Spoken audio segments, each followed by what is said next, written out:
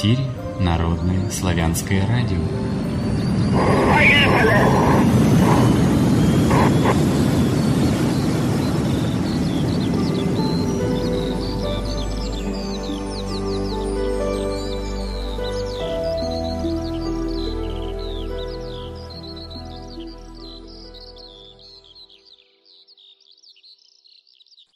Всем здравия! С вами Народное славянское радио, Алексей Орлов. Сегодня по одному из современных календарей 3 ноября 2016 года четверг, по одному из старинных третий день месяца нового дорог 7525 лета, понедельник.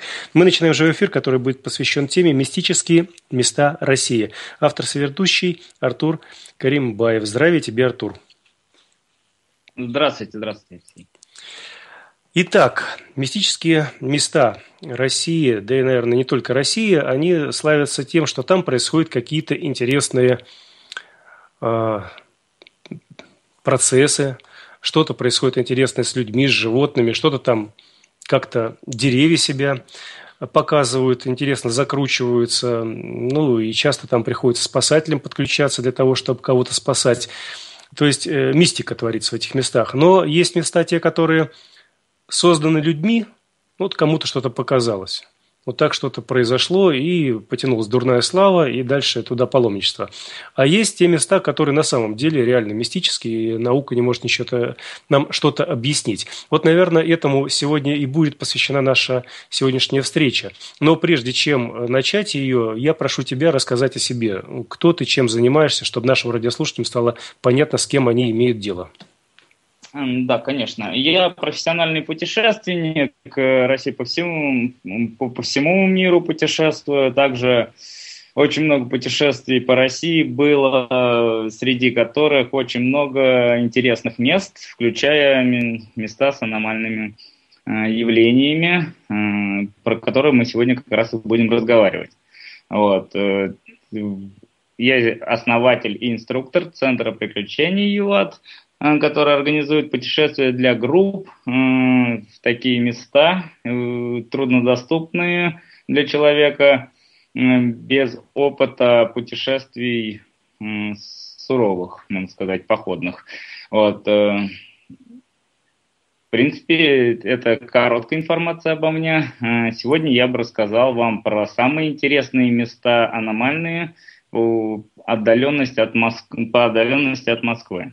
Ну, давай, наверное, начнем с того самого момента, про который сказал, что есть те места, которые э, по сути мистическими не являются, но там происходят какие-то неприятные моменты с людьми, и им начинают приписывать этим местам какие-то мистические связи, какие-то мистические образы и так далее. Вот, например, мы с тобой до эфира говорили про дорогу на Лыткарина, да, которую даже показывали в битве экстрасенсов, там как будто люди видят каких-то привидений, и после этого аварии происходит. Вот давай с этого начнем, потом перейдем уже к тем мистическим местам, которые более, на мой взгляд, интересны.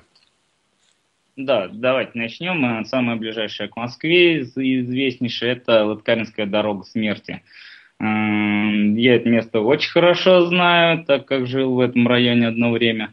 Про это место рассказывают э, очень интересные вещи э, люди, которые побывали там. То, что много аварий, э, то, что видели привидений, что непонятные лучи из леса, либо перебегает дорога. Дорогу всякие люди Э, которых сбивает машина, а потом, оказывается, никаких аварий не было. Вот. Э, вообще дорога, как обычно в России, единственная, по легенде, она, э, ее построили на старом кладбище. Из-за этого люди верят в то, что происходят аномальные мистические вещи. Вот. Э, так мало того, там еще же эта дорога как-то участвовала в одном из э, шоу, где экстрасенсы принимают участие, и там да. Э, этим она тоже стало известно многим. В 98 году Космопоиск заинтересовался непонятными явлениями на Лыткаринской дороге, начали проводить эксперименты. Выяснилось, выяснили они, что э, под дорогой находится э, разлом литосферных плит, из-за этого э, здесь место силы. Дальше начали раскручивать эту тему по ТНТ в программе про аномальные явления была передача показана, в которой говорили то, что привидений нашли. Это те же самые, что космопоиск люди, но больше уже для раскрутки этого места и показать людям, что реально является в этом месте аномальная зона, мистических явлений, привидения. И, но количество аварий после того, как дорогу улучшили в 2006 году, э, заметно уменьшилось. Вот, поэтому складывается впечатление, что это не такое же мистическое место, а просто была не самая хорошая дорога э, с плохим кюветом, куда люди улетали. Вот. Ну, это То есть так, так банально, банально так все, да, в общем-то, плохая да. дорога, поэтому люди улетали. Ну хорошо, а те, кто рассказывают про то, что видели привидение, которое сто... женщина стояла в белом, махала рукой, испугался, или там что-то из леса такое вылетело, или там лучи, вот к этому как ты относишься в этом месте, в Лыткаринской дороге? Да, я частенько по этой дороге езжу. В принципе, въезжая на дорогу, Э, каждый раз вспоминаешь об этом, об этих явлениях, что может случиться. И э, если психологически себя накрутить, то можешь э, видеть на дороге либо в лесу какие-то вещи. Но я стараюсь относиться к этому скептически и не обращаю особо внимания, особенно когда спешишь куда-нибудь, забываешь. Вот. А если ночью после долгой дороги откуда-нибудь э, едешь, въезжаешь в это место, обостряешь внимание, конечно, такое место э, аномальное. Не, не зря сюда приезжают так много людей, научных и любителей всякой мистики, аномальных вот этих вещей в поисках э, вот, всего эти, этой загадки, чтобы разгадать, что же здесь в реальности происходит. Ну, понятно. Хорошо, твое отношение к Лыткаринской дороге ясно. Теперь давай будем переходить к тем местам, которые известны не только под Москвой, но и по всему миру. Что про них мы можем рассказать? Да, ну, одно из самых известных по всему миру, наверное, это перевал Дятлова да, э, могу про него начать рассказ. Давай про него, да, тем более там мистическая такая история, страшная достаточно. Сейчас там, насколько я понимаю, уже памятник был поставлен, там вроде реконструкция памятника это была намечена, но я не особо слежу, но так э, краем уха слышал, что да, там погибло много людей, причем при странных таких обстоятельствах. Вот давай об этом поговорим более подробно и разберем его, что же там было на самом деле. Да, ну как вы сказали, вот э, это место известно не только в России, а по всему миру. Э, даже сняли про него фильм иностранный. Э, в России очень много фильмов снят про это место.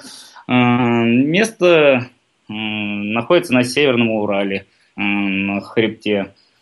В 400 километрах от него ближайшие населенные пункты то есть пешком туда просто так не дойти. До туда дойти можно только туристам, э, которые забрасываются с юга, с города Ивделя, э, вахтовкой, дальше пешком два дня. Место примечательное. В этих местах э, жили и живут народ Манси, на склонах, которые которые на, северный, на склон Северного Урала, на хребет ходят э, на пастбище, выгоняют э, своих северных оленей.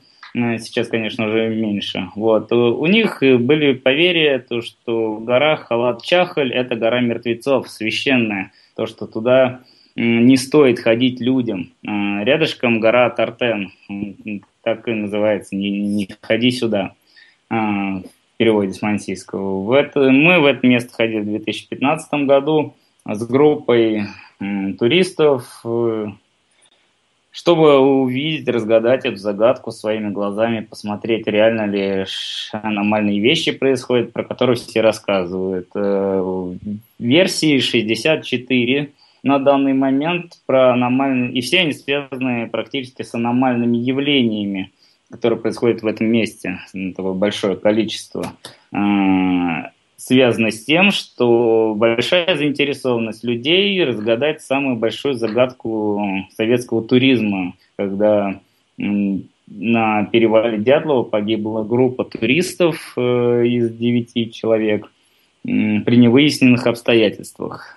Э, многие туристы именно направляются в это место, чтобы увидеть, почувствовать то же самое, проверить, правда ли или неправда. Именно э, стараются в таком составе 9 человек идти. Но э, ни с кем не случаются такие явления сейчас, хотя очень часто там происходят непонятные вещи. Например, я вот э, как опытный инструктор знаю многих э, не менее опытных проводников в эти места, которые терялись там, хотя Ориентирование по хребтам довольно-таки простое. Бывало, инструктор отойдет от костра за дровами, э, приходит с дровами и не может, ну, тропинку обратно и не может понять, куда ему идти, э, где его лагерь. Вот. Э, это одно из самых частых явлений, которые происходят. Там человек теряет координацию, можно сказать, в пространстве себя теряет. И также многие видят там световые лучи э, и природные явления в виде гало. Это два солнца, э, после чего из-за того, что они до этого не видели таких вещей, у них помутнение сознания, они совершают необдуманные поступки, многие пытаются забраться на гору побыстрее, хотя там курумник, это камень, разбитый, и происходят, конечно, травмы у людей, бывают даже с смертельным исходом, э, о чем любят рассказать наши СМИ. Э, из-за этого это место считается э, очень даже, как сказать, не то что популярным, туда очень увеличился поход туристов в последние годы после фильма после э, рассказов в СМИ э, про это место. И э, да, место интересное, реально скажу. Мы там в тумане блуждали по навигатору, потому что э, погода плохая там частенько. Ну, ну хорошо, а как э, ты объясняешь что с точки зрения опытного человека, местами даже скептика, о том, э, вернее, то, что там происходит? Почему вот человек, который буквально за 20, за 100 метров отошел от костра, собрать дров, а обратно поворачивается и потерял ориентацию и не может э, найти тропинку, по которой только что он прошел? А, ну, возможно, из-за того, что он первый раз попадает в такое место, незнакомое для себя, с которым связана э, такая история, непонятная загадка. Э, психологически человек, уже находясь э, в незнакомом месте, и особенно с такой словой, настраив, настраивает себя на другое миропонимание все вещи ему начинают, многие вещи начинают мерещиться, казаться ему. А, здравый рассудок теряет человек. А, скорее всего, это связано с, по-моему, по моему мнению, с природой Северного Урала. А, она все-таки уникальна тем, что горная местность, горная тундра и деревья, которые растут э, в лесной части, а, отличаются от тех, где человек, которые человек видел. Ну, на Северном Урале не так много людей все-таки. Среди местных жителей больше скептиков, а те, кто приезжает туда, именно туристы, паломники, они э, уже настроены на, на, на попытку отгадать загадку этого места. Вот. И во всех э, вещах э, что-то им мерещится. Так, например, сам памятник, про который вы упомянули, это останется на горе, на перевале. Вот, э, останется каменные породы, вся, всю гору, землю, мелкие породы вымыло ветром, дождем, и остался останется каменистый. Если идти в тумане, то может показаться, что это дом может показаться, что это огромная гора или скала. Э, из-за этого человек думает, что ну, себя накручивает, что впереди ему что хочется, что он увидеть хочет, то и есть. Вот. Э, некоторым кажется, что это группа людей, стоящих. Он, понимая, что в этом месте никаких людей не должно стоять, и особенно так много, пытается их обойти. И тропинка его уводит, и да, человек заблуждается. Ну хорошо, а как объяснить то, что у местного населения, у Манси, гора это называется, этот перевал называется «Не ходи туда». Что за предупреждение такое? Не ходи туда, это гора Тартен, которая находится между, э, вот сам перевал Дятлова находится между Халат-Чахаль, это гора мертвецов, и горой Атартен. Да, но не просто же такие названия. Гора мертвецов, не ходи туда, это что-то, наверное, для, означает? Да, для самих Манси это горы вообще священное место, и они считали то, что духи э, живут э, в горах, и тревожить их не стоит подниматься. Лучше жить в лесной местности. Все это связано с тем, что те, кто в горы идут, они подвергают жизнь свою риск очень большой, потому что горы сложные, там курумник, э, можно пострадать. И если в древние времена э, манси не имели экипировки, Э, и пытались зайти на гору, то были ча- частые несчастные случаи. И, и Майси все это сводили не к тому, что человек не готов зайти, а то, что его кто-то с горы этой сбрасывает. Злые духи,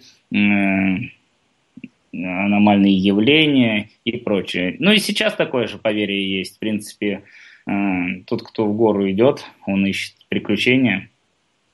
Вот. Если все населенные пункты Манси, ну, кочевые места, где они находятся, а, около воды, а, в лесной местности, а те, кто уходит в горы, это все-таки отшельники из Манси.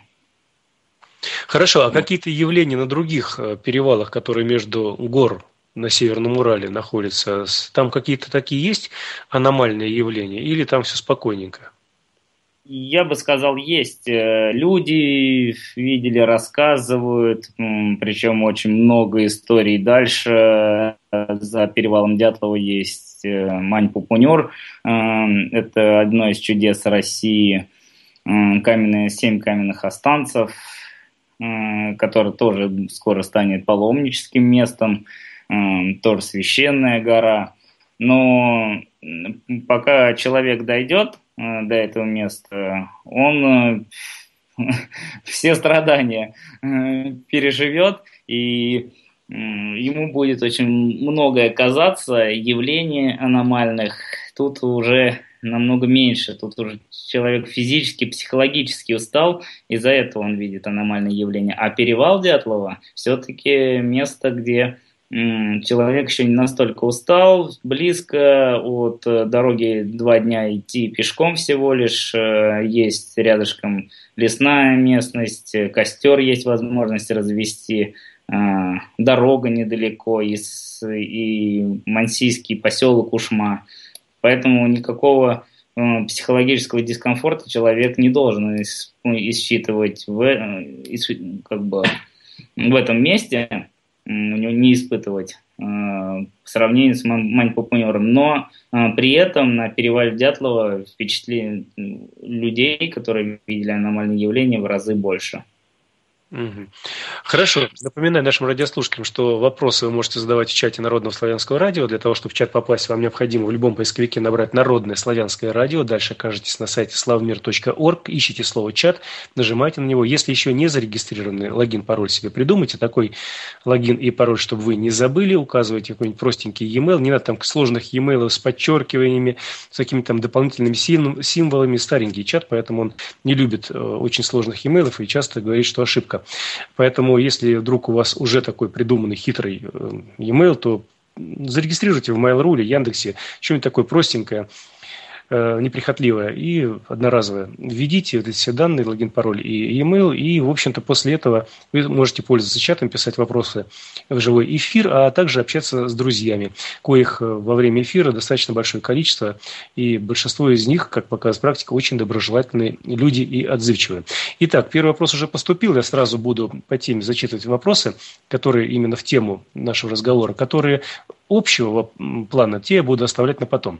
Вопрос эфир поступил от Данила. Здравия с ведущим. Артур, есть ли у вас данные о том, что группа Дятлова подверглась умышленному воздействию акустического оружия? Благодарю за ответ.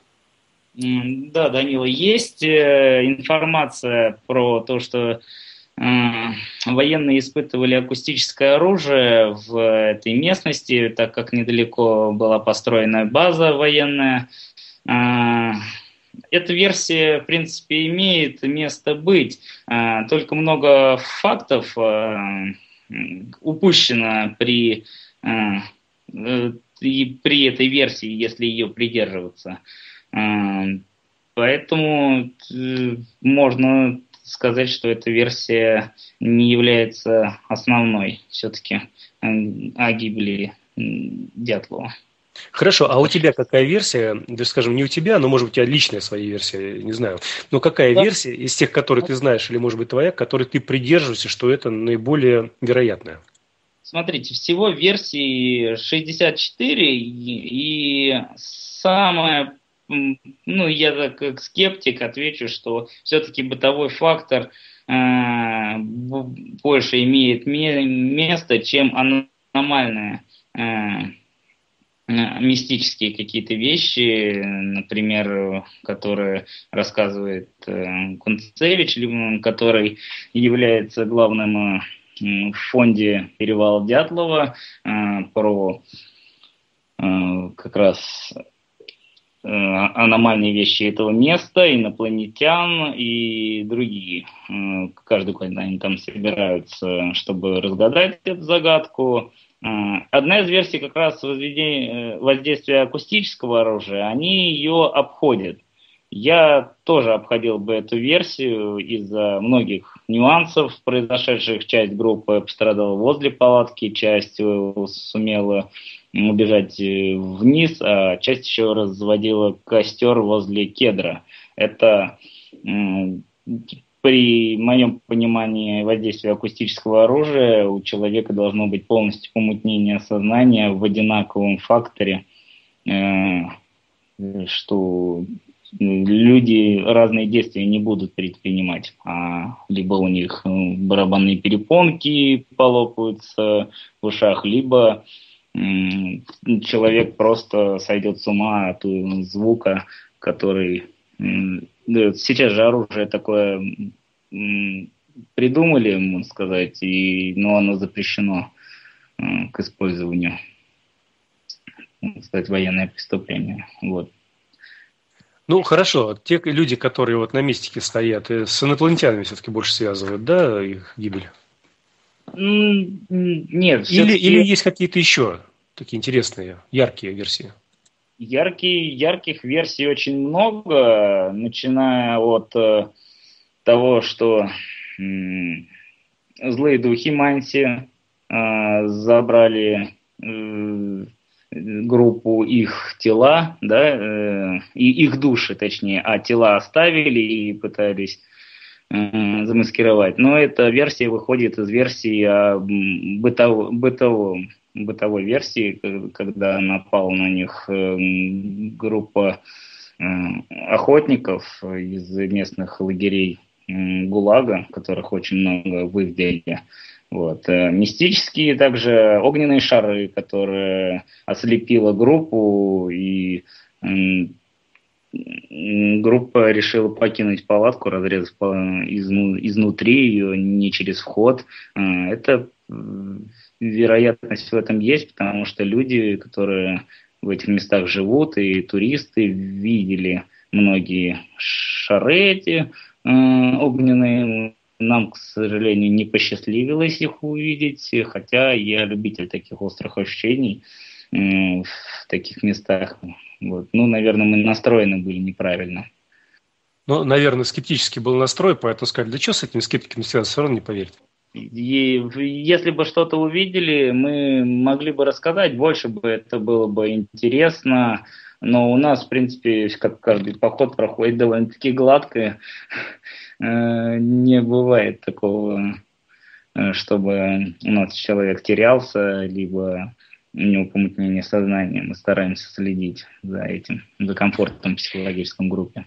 Насколько я понимаю, бытовой э, конфликт произошел по вот той версии, которой ты придерживаешься, и просто местные ребята, которые там живут, повздорили и что-либо такое неприятное сделали, всех перебили, да? Получается да, так? Да. Ну, в, в группе Дятлова было две девушки, что на, э, в той местности довольно-таки редкость, потому что там лагеря ГУЛАГа находились, э, там конвоирщики, Э, потом преступники, которые валили лес, э, женщин не было из-за этого на охоту. И они же, вот э, работники ГУЛАГа, ходили на охоту и могли встретить группу и увидеть там пару девчонок, с которыми хотел им познакомиться, но так как это ребята были с Екатеринбурга, и группа 9 человек, 7 крепких парней сказала, нам такое знакомство с пьяными охотниками не нужно. Вот. И, ну и на этом конфликт перешел в трагедию, так сказать. После чего группа охотников, имея оружие, потому что у туристов нет оружия, вот, э, вывела всех из палатки, после чего группа погибла и поспешили замаскировать все эти все деяния под какие, какие-то непонятные вещи, аномальные. Хорошо, что... а там э, были следы огнестрела на телах вообще? Потому что про это вообще нигде не слышно, чтобы были огнестрелы, там ранения ножевые. Нет, вот именно то, что э, угрожая человеку оружием, можно делать с ним практически все, что угодно. А, а огнестрельных э, ранений не было, но использование его было неправильное. Если бы Э, выстрелить человека, то у кого оружие есть, его найти легко. А если причинить вред такой, как был группе причинен, э, физическая расправа, можно сказать, то э, поиск очень усложняется, потому что сделать это мог кто угодно. А какие там были травмы нанесены смертельные на телах? Что было обнаружено? Какие травмы? На телах э, и перелом черепа был, перелом позвоночника, потом было э, удушение путем на грудную клетку тяжелого предмета, посаженным так часто делали работники КГБ при пытках своих. Вот, садились на грудь человеку. Вот. Э, ну и немножко отвлеклись. Мне кажется, Нет, ну просто, просто мы, рассматриваем, мы рассматриваем все версии, поэтому надо понять, что если бы это было НЛО, то, наверное, вот таких переломов бы, наверное, было тяж... мало. Интересная версия есть, что э, паранормальное явление мистическое, вот на группе были найдены остатки э, радиоактивных веществ. Как э, по одной версии есть, что двое из участников этой экспедиции работали на секретных заводах, связанных с, с радиацией, э, радиационным оружием. Вот, э, была контролируемая поставка и тому подобное. В, если это рассматривать среди любителей мистики, то тела, э, которые нашли, на которых вот было радиоактивные вещества, покрылись оранжевым цветом. Если не принимать во внимание, что не знать, что это радиоактивные вещества на них были, то тела покрылись оранжевым цветом, что неестественно для человека, который умер и замерз э, в, в горах. Произошло все это в январе 30, в 31 января 59 года. Вот. Хорошо, хорошо. Давай еще посмотрим, какие вопросы поступили по Дятлову. Так, вопрос эфира от Владимира из Мытищ. Артур, у меня есть версия, что глюки в дальних походах могут быть вызваны употреблением местной воды. Ведь уже общеизвестно, что вода по структуре скорее ближе к полимеру, чем к э, трехатомному молекулярному виду. Ведь вы не можете сделать профессиональный анализ воды перед ее употреблением. Да, согласен с человеком, что может быть вода влияет на человека, все-таки это источник питания нашего, да, от которого зависит наше состояние. Вероятность такая есть, потому что все-таки это горная вода, она содержит в себе минералы. А, никто, мне кажется, не проводил таких опытов на перевале Дятлова. А, ну, не брал анализ воды. Там вода преимущественно талая, это снег, а, и дождевая, если именно считать перевал Дятлова. Вот. Как Хорошо. источник там далеко речка Оспе, ручеек, который летом функционирует, а зимой, когда группа погибла, они все-таки использовали снег. А снег, э, если только был заражен чем-нибудь. Ну, опять же, зараженный снег вряд ли вызовет переломы грудной клетки, позвоночника и черепа, да? да? Хорошо. Следующий вопрос от Елены 777. А какие сны вам снились в этом месте или какие идеи у вас были? Вы можете это, об этом рассказать? Да, смотрите, ну, снов практически не было, потому что э, устаешь очень сильно. Мысли были, мы часто разговаривали друг ну, с группой, о э, том, кто что увидел, кто что ощущает. Э, в группе не, мнения разделились. Кто-то думал больше о трагедии, да, о том, что с нами что-то может случиться. Вторая половина группы все-таки пыталась найти э, в природных явлениях э, какие-то аномальные вещи, выходя из палатки поздно, в 12 ночи, посмотреть на Луну, потом пытаться вдали увидеть что-то, либо представляла себе при э, прохождении облака очередного силуэты какие-то представляли, да, там дерево растет, человек смотрит участник группы смотрит, там человека видит в этом. Э, вот, наверное, разговоры наши были к этому сведены, кто что увидел, кому что кажется.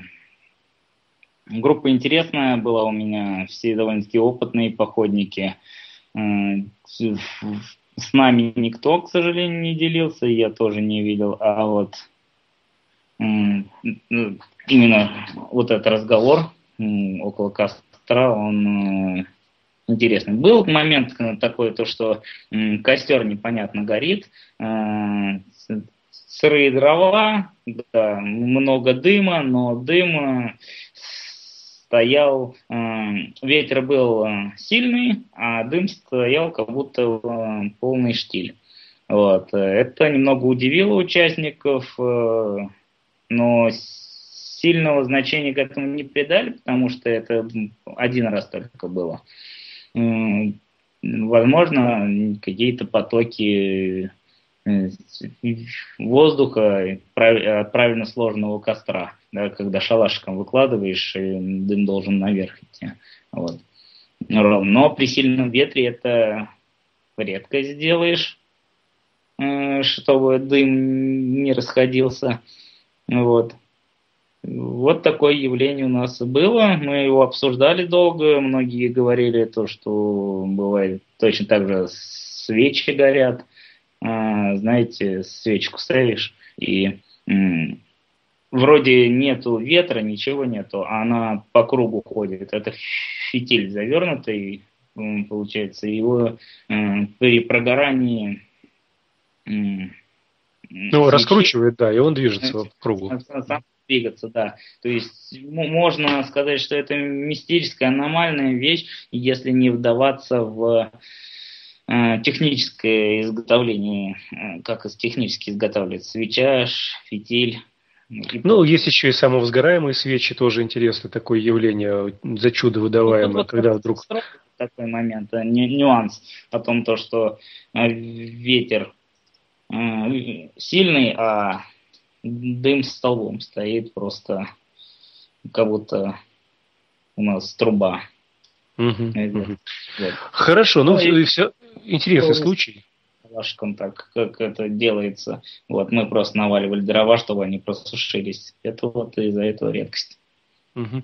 Вот Данил написал комментарий дополнения в эфир. Судя по инфе из инфостатей были внутренние кровотечения и гематомы. Ну вот о чем мы и говорили. Ладно, следующий вопрос тоже по Дятлову от Олега из Иркутска. Здравия, Артур. Как ты относишься к исследовательской версии, что многие каньоны в Аризоне, в Австралии, Антарктиде и так далее, скалы в их низинах так называемых рисовые террасы. Это места выработки э, терриконы с отработкой, с отработанной породой, некоторые из которых считаются вулканами. Некоторые затопления на, названные морями и не то чтобы иное, как антропогенные антропогенной природы котлованы, выработки породы техникой подобно роторным экскаваторам предыдущих цивилизаций.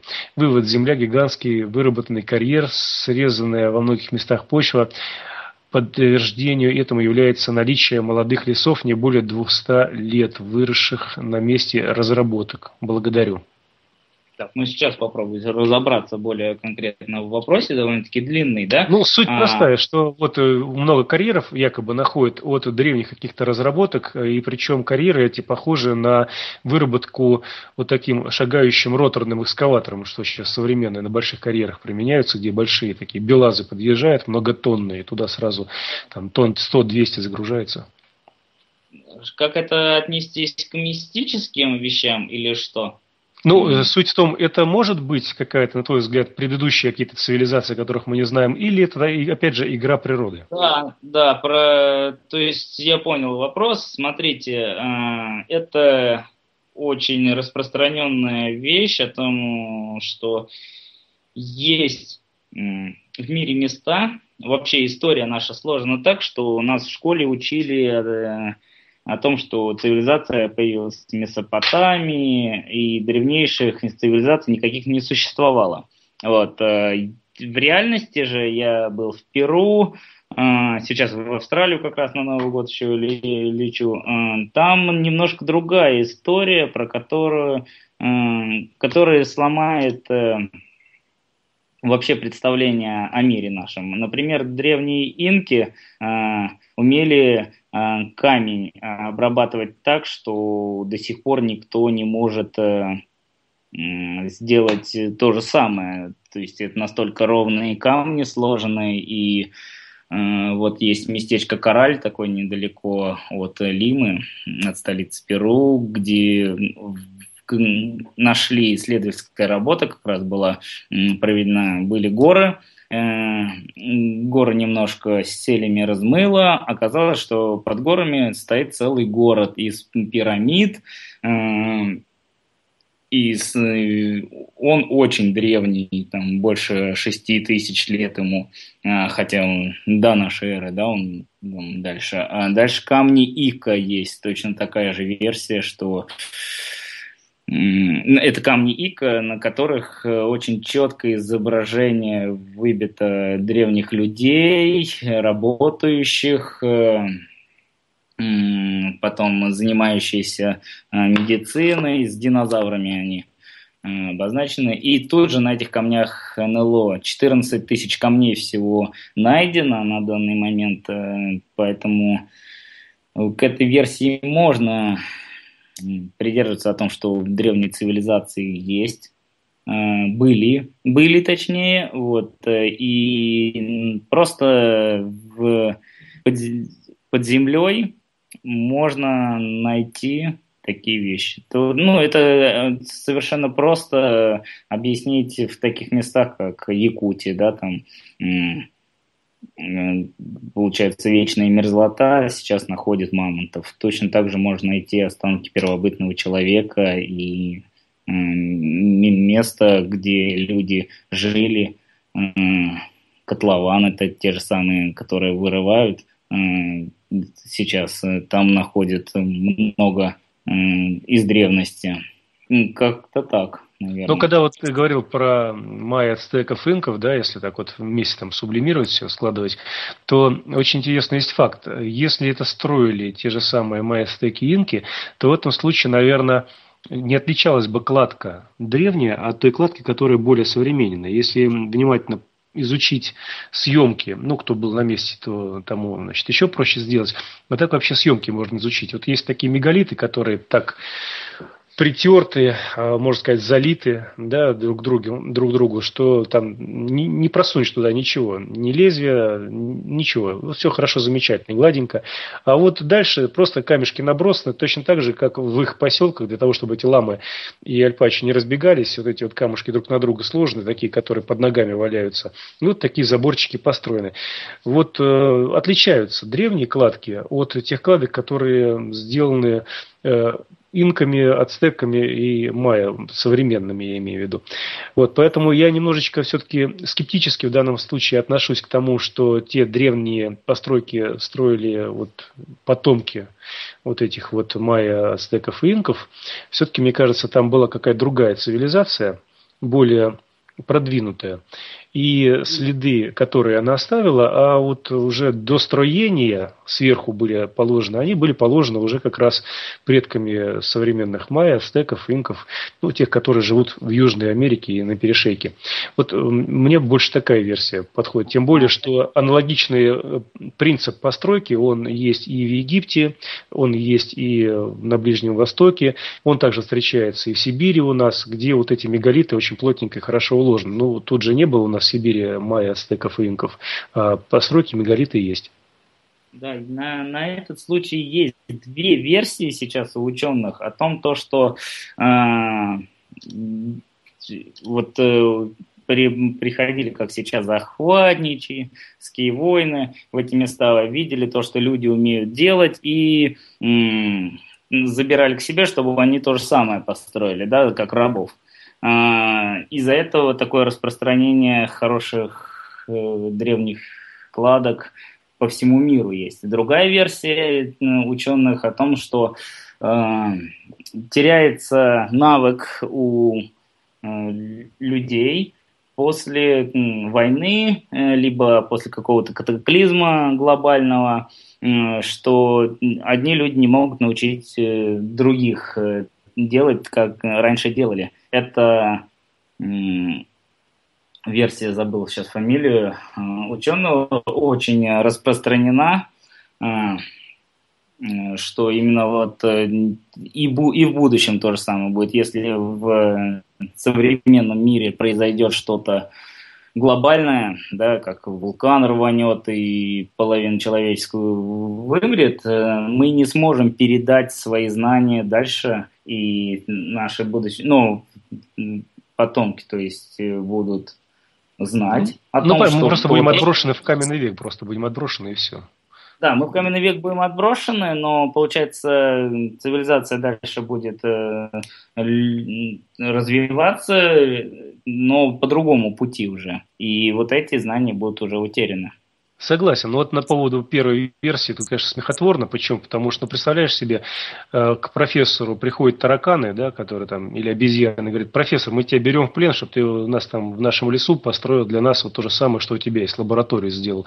Или там еще кому-то. Более развитая цивилизация всегда может дать отпор вот этим вот обезьянам, которые приходят и пытаются взять кого-то в плен. Тем более обезьянам надо как-то через океан, через море переплывать, а это технологии нужны для того, чтобы по всей земле было. Я думаю, что здесь вот вторая версия больше подходит, когда была единая какая-то древняя, современным языком называемая цивилизация, которая оставлял какие-то следы постройки, может быть, даже техногенные, связанные с выработкой электричества или там чего-то еще, может, защитные какие-то, что в древних писаниях описывается строениях. И потом что-то произошло по каким-то причинам. Может быть, э, война та же самая, может, э, катастрофа, там, вулкан где-то рванул, а может быть, что-то там с землей столкнулось, о чем тоже много упоминаний в древних писаниях.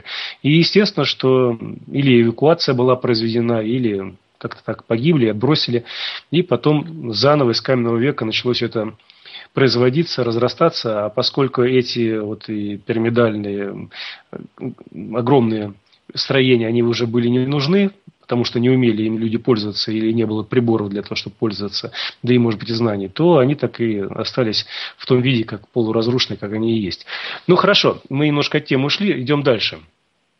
Вопрос от Владимира Изматич. Артур, вообще известно, что бывали случаи накрытия в кавычках небольших поселков выбросами, выбросами метана, обусловленных местной геологической активностью. Вы не рассматриваете это как причину чудесных видений? А, так, сейчас. Э, это именно про перевал Дятлова. Ну, Или это было написано, когда мы про периал Дятлова, да, говорили, но я думаю, что это может подойти и к другим местам, где какие-то глюки с людьми происходят, тут что-то увидели, там услышали, показалось, померещилось. Про, про выбросы метана, да, это известная вещь, э, то, что на старых кладбищах э, трупный газ э, и другие газы выходят, у человека начинают ну, он реально видит эти вещи, и не понимая, откуда эти вещи появляются, он начинает думать, что это мистика. А, и у него сознание мутнеет, и он готов на всякие нелепые поступки совершать, да, будь то спрыгнуть со скалы, попытаться убежать, либо э, реку переплыть, которую невозможно от страха. Так это бывает. Э, из, но именно, именно метан я бы вот э, не сказал бы. Какой-то другой газ. Хорошо, а если с Дятловым это связать? Может ну, быть, там тоже что-то могло быть? Что? А если с Дятловым связать, может, там тоже какой-то выброс был газа, вот э, такое помешательство было, друг другу ребят там э, разбили голову, там помяли друг друга, а последний со скалы там упал, ну не знаю, мало ли там наткнулся на что-то. Есть, есть версия то, что было испытано радиоактивное оружие, всякие водородные бомбы, а, то, что газ разлетался по горам Северного Урала, где никто не живет, и там можно испытывать, в принципе, такое оружие, а, вот, и чтобы оно было засекречено, именно в таких местах было сделано, а не на основных полигонах. Но действия группы Дятловой были довольно-таки понятные, что некоторые пытались развести костер, два участника да, их экспедиции. Некоторые пытались сделать себе лабаз в устье ручья. В принципе, если газовая атака какая-то, либо взрыв бомбы, которая смесь газа на человека, который влияет на рассудок, то у них бы вряд ли бы было... Мысль это сделать, да? Угу. Хорошо, понятно. Давай дальше будем идти. Это время уходит, а у нас еще интересные темы есть неразобранные. Вопрос эфира от Дмитрия. Здравия всем. У меня вопрос по вашей экипировке в походах. Есть ли какие-то предметы, которые вы брали в походы и потом перестали брать? И наоборот, вначале не брали, но потом стали брать? Благодарю. Да, я с самого начала э, занимался э, спортивным туризмом. Э, очень хороший тренер был. Нас учили, что нужно создавать себе комфорт в походе. Вот. Мы из-за этого брали много вещей.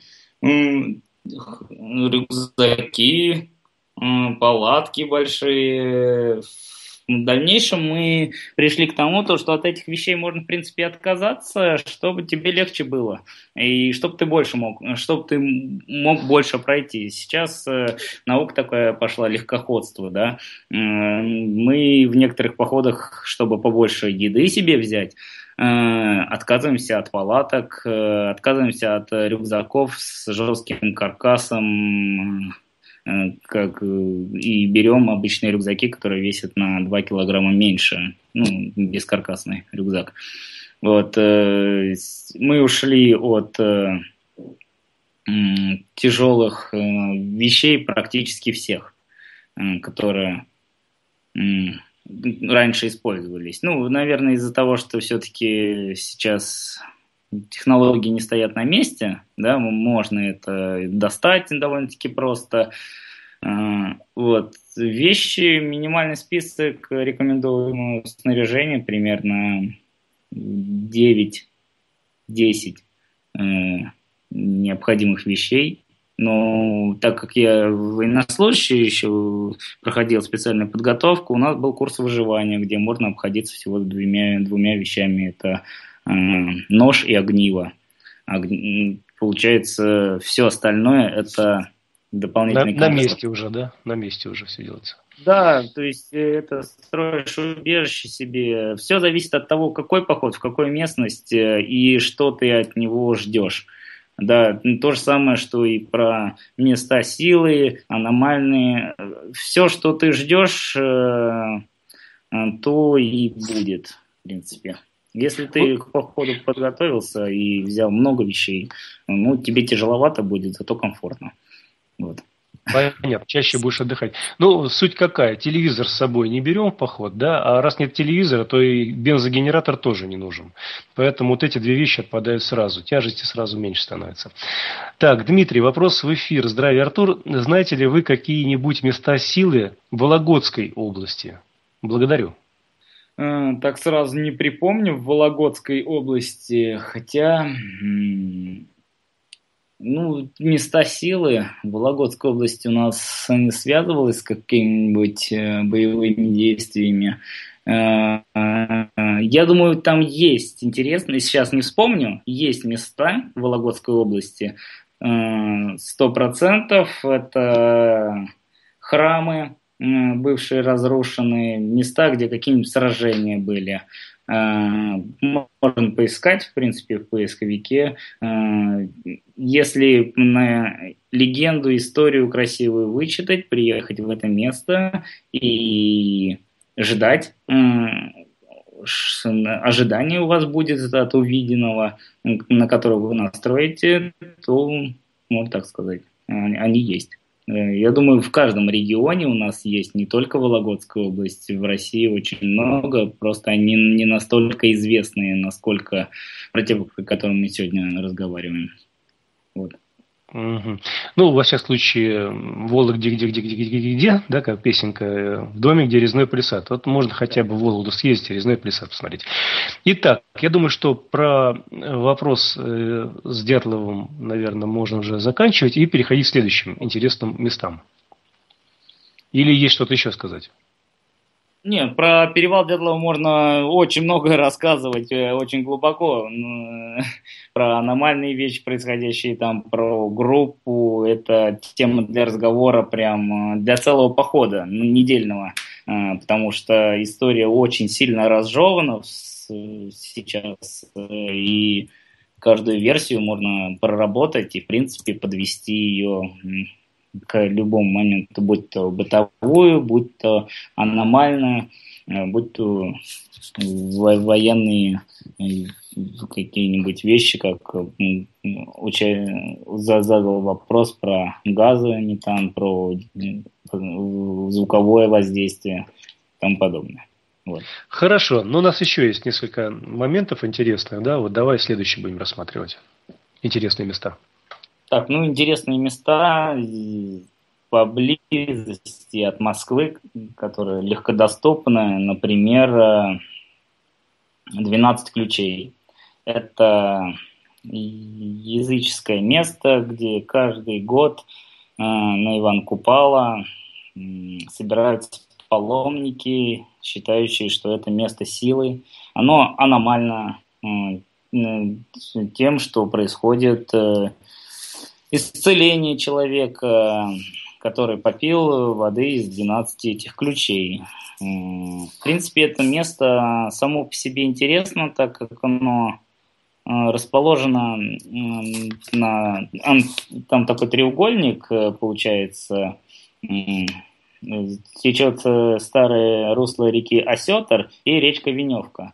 Вот. На этом треугольнике стоит сейчас э, уже поставили купель, да, и родничок. Э, а, в древности рассказывали по легенде, что в этом это место, как появился родничок, вот эти, эти источники, что э, в деревне жило 12 братьев, и они ушли на войну.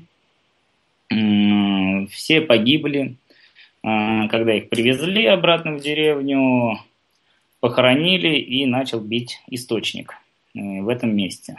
Место красивое, место аномальное, тем, что люди приезжают в это место, чувствуют заряд силы, дальше попив воды, еще некоторые исцеляются, потом на Иван Купала происходит э, там час, очень частые туманы в этом месте, вот, э, происходят такие вещи, что люди теряются, э, хотя там поле, в принципе, потеряться довольно-таки сложно. Вот. Один из священников, который приезжал в это место, хоть оно и является языческим, освещал купель, говорит, что зимой, да, на крещение, пока во время того, как освещали купель, э, шел снегопад, причем очень сильный, но люди все стояли, ни на кого не попал ни одной снежинки, хотя все кругом замело. Место такое интересное. Мы там частенько бываем. Вообще, это бывшая граница Тульской губернии с Москвой. Э, на берегу реки Осетр находится очень много курганов, э, старообрядческих мест, э, но 12 ключей выделяется из этих всех мест своим паломническим местом в последнее время на Иван Купалу очень много людей туда приезжает. Насколько я понимаю, это река Осетр там, да, находится? Что? Да, река это... Осетр. Э, русло реки Осетр на границе Московской и Тульской области по э, трассе М4. Вот, э, прям, прям недалеко от дороги, в принципе. А какой там рядом населенный пункт находится? Потому что если из Москвы ехать, то там Серебряные пруды, вот трасса мимо идет, да, и чуть на Новомосковск, там чуть в стороне. Венев, э, город это самый большой, через который можно добраться своим ходом, э, либо это Метростроевский поселок, э, бывшая деревня Гурьева, Бяк, Бяки, вот, если смотреть по трассе. Хорошо, а какие там заболевания, вот люди рассказывают, каких заболеваний исцелялись? У многих э, мигрень проходила, это самое простое. Некоторые избавлялись от э, душевного недуга, то есть человек э, с психи- психическим расстройством приезжал туда, пил воды, находился в этом месте, и после этого он становился нормальным человеком, ну, в, общем понимании, да, у него проходили всякие страхи, душевные боли, э, потому что он чувствовал заряд э, в этом месте. Ну, как бы это место Экзор... Экзорцизм одновременно там, да, происходил, бесы выпрыгивали. Хорошо, а вот э, ты когда там был, что там делал, что с группой там делали, какие были ощущения личные, что про это расскажешь? Ну, вот мы вводим походы, когда мы рассказываем, что это 12 ключей, это источник как бы э, освящен, сейчас благоустроено, издревле он считался местом силы, языческое капище в честь Ивана Купала, вот, э, Сами мы пьем воду эту, берем во фляжке с собой, чтобы набрать больше сил в нашем долгом походе двух-трехдневном. Людям это, в принципе, нравится, они чувствуют поддержку. Это, это поход для новичков, для тех, кого, кто еще не привык к быту, походному, что нужно куда-то идти с рюкзаком. Вот. Э, это поддерживает их, и каждый чувствует то, что да, вода э, сильная. Это вот как раз вопрос был у одного слушателя про воду, про минералы, э, находящиеся в воде. Вот принципе, ну, а впечатления, вот... впечатления, свои впечатления какие? Что просто приехали, насладились ручейками этими, речкой, красивыми ландшафтами и уехали? Или что-то все-таки там делали, как-то что-то пытались понять, ощутить? А, мы туда приезжали и на Иван Купал, мы много раз нам были, и в зимнем походе, и в летнем. Э, каждый поход совершенно разнообразный. Чаще мы пытались э, найти какие-нибудь древние вещи. Ну, очень много археологических раскопок кругом проходит, да, там курганы, погребения. Вода это одно, а место само это совершенно другое. Там курганы 12-13 века очень много можно найти, гуляя по этим местам. Они практически не заселены, рядышком деревень нету поблизости, поэтому э, можно найти копье, ну, наконечник от копья, да, а, стрел, э, вот, потому что были оборонительные укрепления в 15-17 веке, тому, которые 4 километра вдоль э, реки Осетр, Грабоновые ворота называлось. Вот. Это одно из примечательностей, как раз рядом с 12 ключами. Вот. Угу. Ну, что-то все-таки вот э, мистическое, кроме как исцеления, да, и кроме того, что там есть какие-то курганы и археологические раскопки, ты там ничего такого мистического не увидел, получается так? Ну, мисти... я, я бы считал бы, что это мистическое, то, что люди исцеляются, а, во-вторых, э, природные явления, да, э, с туманами связанные, э, потом про тот же самый снег, который на человека падает, ну, то есть идет снег, а на человека не попадает в этом месте. Такое бывает, такое видели, но я все равно себя отношу к скептикам больше, пытаюсь во всем разобраться изнутри, вот, и придумать какое-то научное обоснование всем происходящим вещам. Ну хорошо, вот э, как ты это объяснишь тогда, давай, с точки зрения скептики, хотя бы с точки зрения науки, как может такое быть, что везде снег идет, на листики падает, на травку падает, а на людей не попадает? То есть по усам текло, а в рот не попало, да, в той же серии. Или приехал человек, водички попил, страхи ушли, там еще попил, там что-то еще с ним произошло. Ну, вот это необъяснимо, но факт насчет воды, это, э, получается, человек сам себе внушает то, что он приехал в это место, набрался сил, попил воды, и эффект плацебо работает. А насчет снега, э, тут уже более сложно обосновать с научной точки зрения, да, а, у меня ну, не получалось, поэтому я все-таки считаю, что это место имеет э, место силы, какие-то явления мистические. А в принципе, большинство участников, точно так же, как и я, чувствуют в этом, ну, что это место силы, да, это интересное место, которое стоит посетить, попробовать эту воду. Но при этом же они понимают, что сверхъестественного такого, что увидеть очень тяжело. Ну хорошо, а какие-то ощущения были в группе, что-то здесь происходит такое-то, что-то такое, подъем энергии, может быть, выброс какие-то?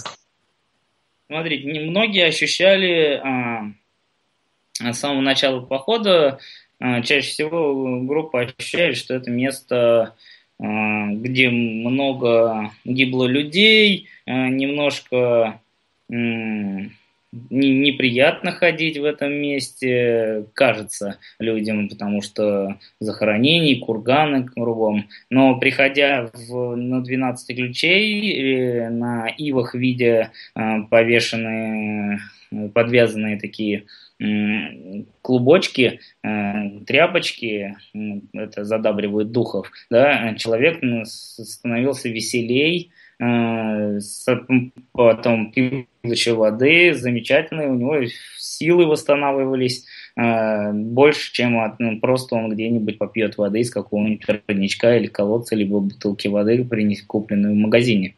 Вот. А как ты э, можешь объяснить то, что люди приходят, э, далекие, может быть, от науки, каких-то там, религиозных взглядов, загадали желание, привязали на веточках какие-то разноцветные ленточки, и потом раз у них избывается то, о чем они просили, или то, что они задумывали.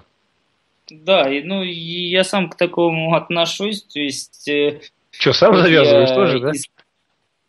Ну, я хоть и скептик, но э, вот если так э, принято в этом месте делать, если ты уж пришел в, в чужое место... Не нарушай сказать, порядок, да? Бери, бери, бери и вяжи, да? Помогай, помогай этому месту, попробуй понять это место, хранители этого места, да, почему именно люди так делают. И не повязав э, то есть вот этот лоскуток на дерево ты не поймешь, ты так и останешься скептиком, а мы как бы люди, вот, ну, путешественники в большей своей степени люди, которые пытаются увидеть что-то новое, узнать, вот, и все это мы делаем через, э, ну, попытку в этом месте понять людей, которые э, ну, чувствуют в этом месте силы, свое самое лучшее место в мире да, приезжают туда за водой, а, Иван Купалу отмечают, после этого они еще и выздоравливают. Вот. Вдруг э, когда-нибудь да случится и им нехорошо будет от этого.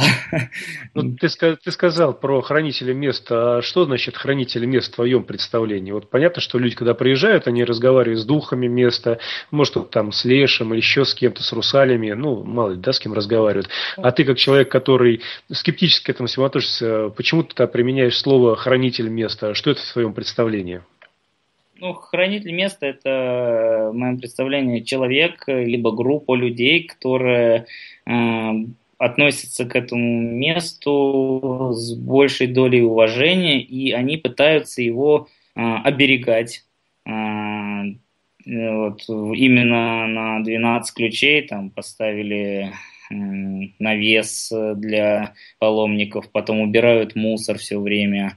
А, если что, там тропинку подкосят, если она подзарастет к ним, да, хотя такого давно уже не было, потому что очень популярное место стало. А, потом, если бревно упало на дороге, они это чистят. Это вот хранители этого места, например, на перевале Дятлова Э, хранителем места являются именно группа Кунцевича, которые туда ходят, они мусор пытаются за собой вывести, который оставляют некоторые туристы, да, мы вот э, все выносим с собой, либо сжигаем, э, ну, чаще сжигаем полностью, а некоторые оставляют, и э, на перевале Дятлова там ну, вот, э, какую табличку поменяли, дополнительно приносят туда свечки, э, венки, бывают цветы. Э, да, это хранители места, люди, которые связывают свою жизнь с этим местом. Ну, то есть, это получается не какой-то не какой-то дух, не какая-то, может быть, эгрегор, там что-то такое ментально, да, а именно люди. Ну, это люди, но которые поклоняются духу этому Так, что значит тогда дух? Я вот не понимаю тогда, что такое дух есть тогда дух. в твоем представлении? У каждого места есть э, там, свое название, да, это и своем, каждая деталь имеет свою какую-то силу. Вот, например, 12 ключей, место силы, да, почему место силы? Потому что там живут духи. Вот э, по легенде вот этих 12 братьев, которые дали э, этому ручью, этому источнику жизнь, который после их захоронения туда пошел. Вот, э, начал функционировать. Дальше люди почувствовали то, что да, вода хорошая, а, к ним в голову пришло, не, про, не просто то, так же приходит, а почему-то. А, после посещения этого места а, людям помогло что-то, но помог не просто вода, а духи, которые в этом месте живут, если так сказать, ну, в каждом месте возможно, что живут духи. Хоть у каждой, вот мы, у нас душа какая-то есть, у, по древней буддийской легенде у каждого и, и религии, да, у, у каждого объекта есть душа какая-то своя, ну, он перерождается. И именно это, ну, это воплощение Э, мысли, воплощение духа именно в людях, в их поступках, в их действиях, э, духа этого места. То есть ты не отвергаешь вот эти субстанции, как душевная субстанция, дух, э, хранитель места, может быть, энергетический какой-то, да, это ты не отвергаешь, это все-таки существует в твоем представлении.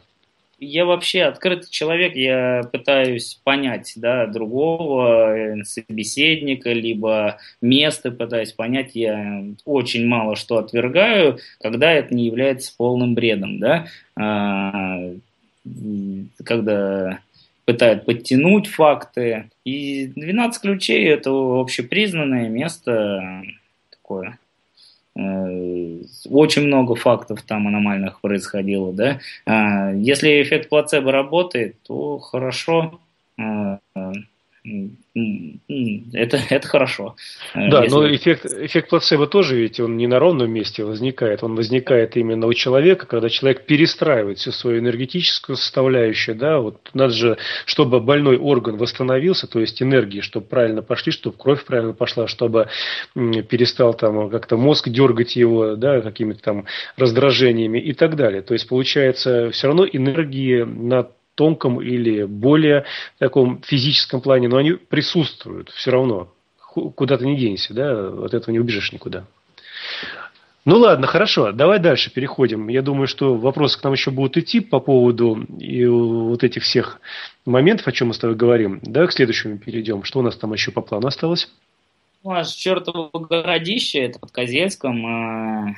Звучит страшно, да, чертово городище. Да, причем находится он далеко, недалеко от Оптиной пустыни, э, одном из э, монастырей, да, э, очень известным, и всего лишь в 15 километрах находится чертово городище около святого места. Место очень необычное из-за своих природных явлений, да, там растет доисторический мох, который светится в темноте, потом эндемичные растения Карелии, в Карелии, вот, которая произрастает, появилась там вот э, непонятно откуда и почему именно растет в этом месте, хотя нигде в средней полосе ее не найти. А, реликтовый еще папоротник, там многоножка, являющийся эндемиком этого места, а, растет именно в, этом месте, в Чертом городище, причем это довольно-таки небольшое по площади э, место в лесном массиве. Также э, что это? Ну, находится само чертово городище в национальном парке Угра. Это уже о чем-то говорит, что э, место признанное своими какими-то природными красотами, и уникальными вещами. А, то есть э, уникальность э, заключается чертово городище в том, что разбросаны валуны огромных размеров, неизвестного происхождения на территории средней полосы России, где этого в принципе нет. Вот.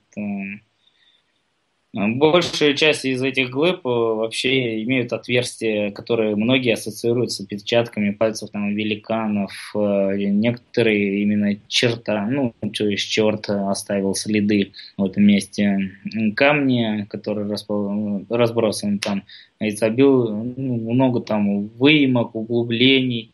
Э, в некоторых вода собирается, которая считается чертов колодец в этом месте. Вот. Ну, вообще живой мир, который в Тертом городище в этом месте есть, он необычен, э, как и место. Вот. Э, ну, что еще сказать про это место?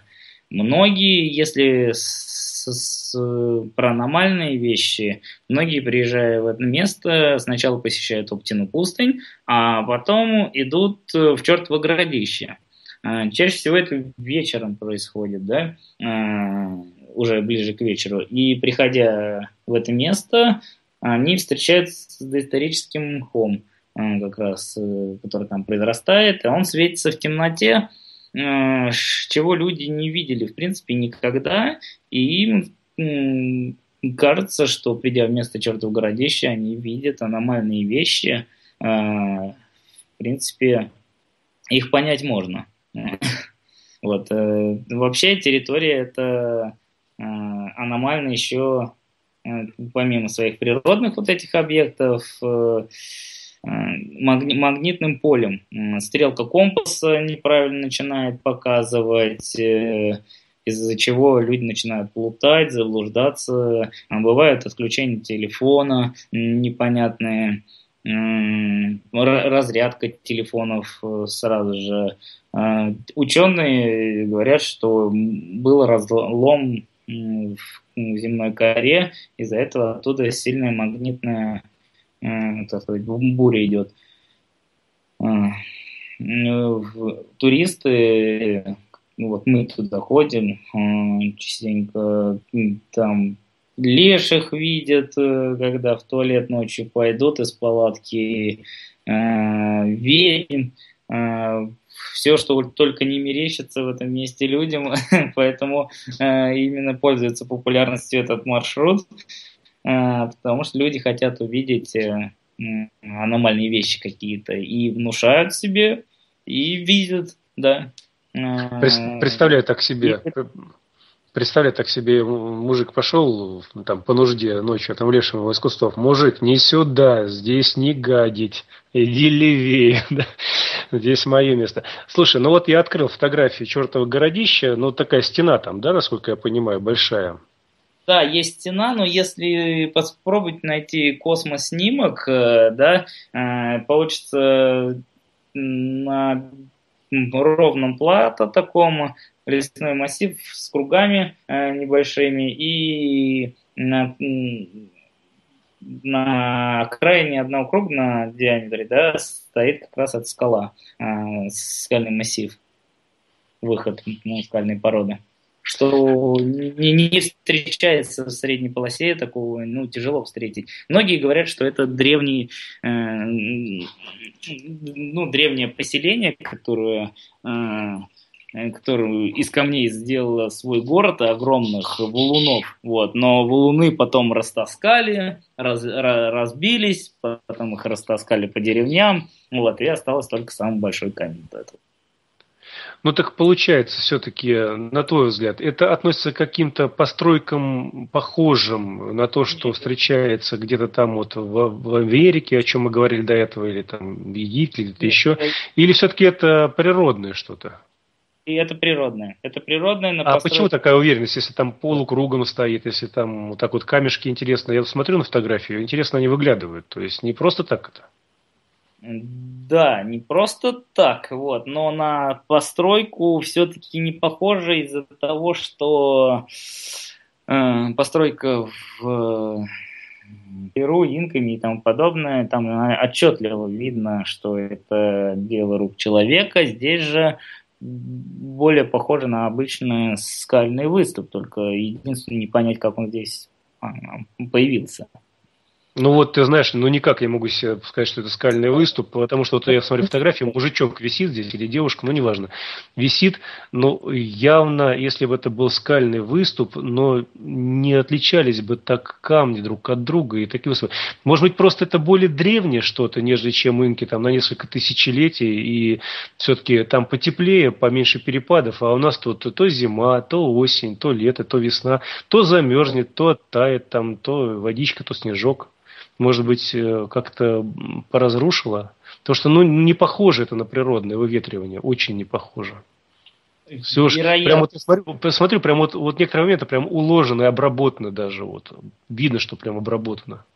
Да, вероятность в этом остается. Многие участники э, ну, похода, да, там пытаются в в камнях, это выискать какой-то силуэт пещеры, да, э, со ступеньками прям выложенными, туннели, камни, э, отесанные прямой угол, вот, но это слишком древнее для моего, наверное, понимания, как давно это должно было место быть. Вот.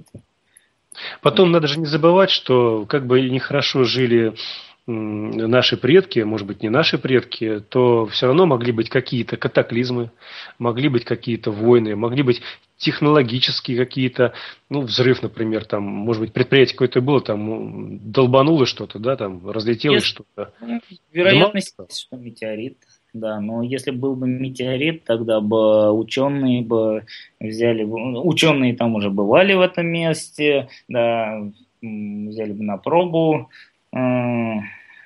это скальный выступ, да, и определили, что это и метеорит. Он очень сильно отличается по составу.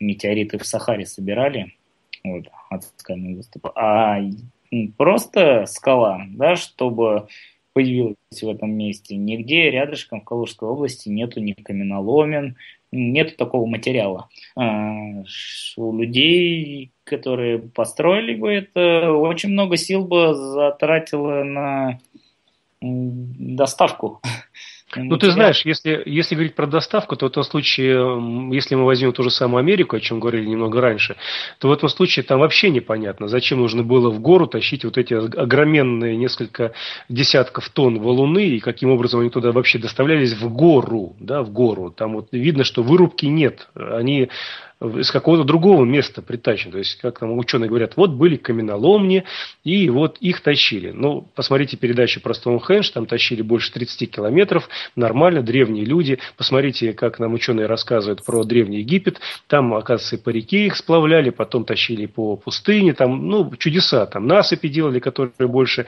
самой пирамиды. То есть, э, ученые иногда такие вещи интересные нам рассказывают, что просто диву даешься. Неужели такие примитивные существа там с каменными медными топорами, одетые в шкуры, могли строить такие удивительные постройки, которые современные краны многотонные не могут поднять, да и транспортировать тоже не могут. Поэтому э, очень много интересных моментов в других местах нашей Земли, где ну, реально просто, по данным ученым, приходилось за несколько десятков, а может быть и сотен километров тащить эти все глыбы.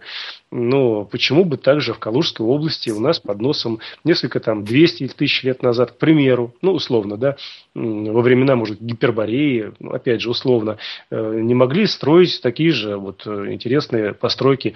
К тому же, если уж про гиперборею так вырвалось, да, с языка, то там находят какие-то интересные остатки, но не могут их Э, к чему-то причислить, потому что они ну, слишком древние, да и перепады температуры, опять же, там еще сильнее, там то поджарит, то там э, льдом все разнесет, поэтому там еще все сложнее. Поэтому определить древность там ну, практически невозможно. Так что не факт, что здесь, в Калужской области, ученые что-то могут сказать новенькое, э, отличающееся от того, что они говорили про Египет, про какие-то другие, там про Мексику, Боливию, Перу и так далее. Ну, это так, мое мнение. Хорошо. Э, получается, что приезжая, сначала помолились, потом чертово городище. И так, вот э, давай, кроме встреч с Лешем, что там еще такое интересное? Что там происходит в чертовом городище? Какие еще ощущения, впечатления, кто чем делится? Обрыв связи.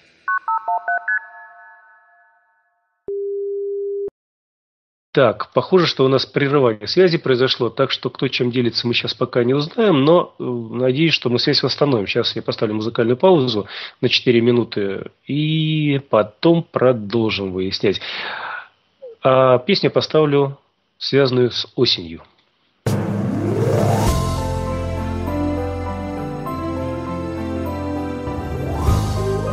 Вы слушаете Народное славянское радио.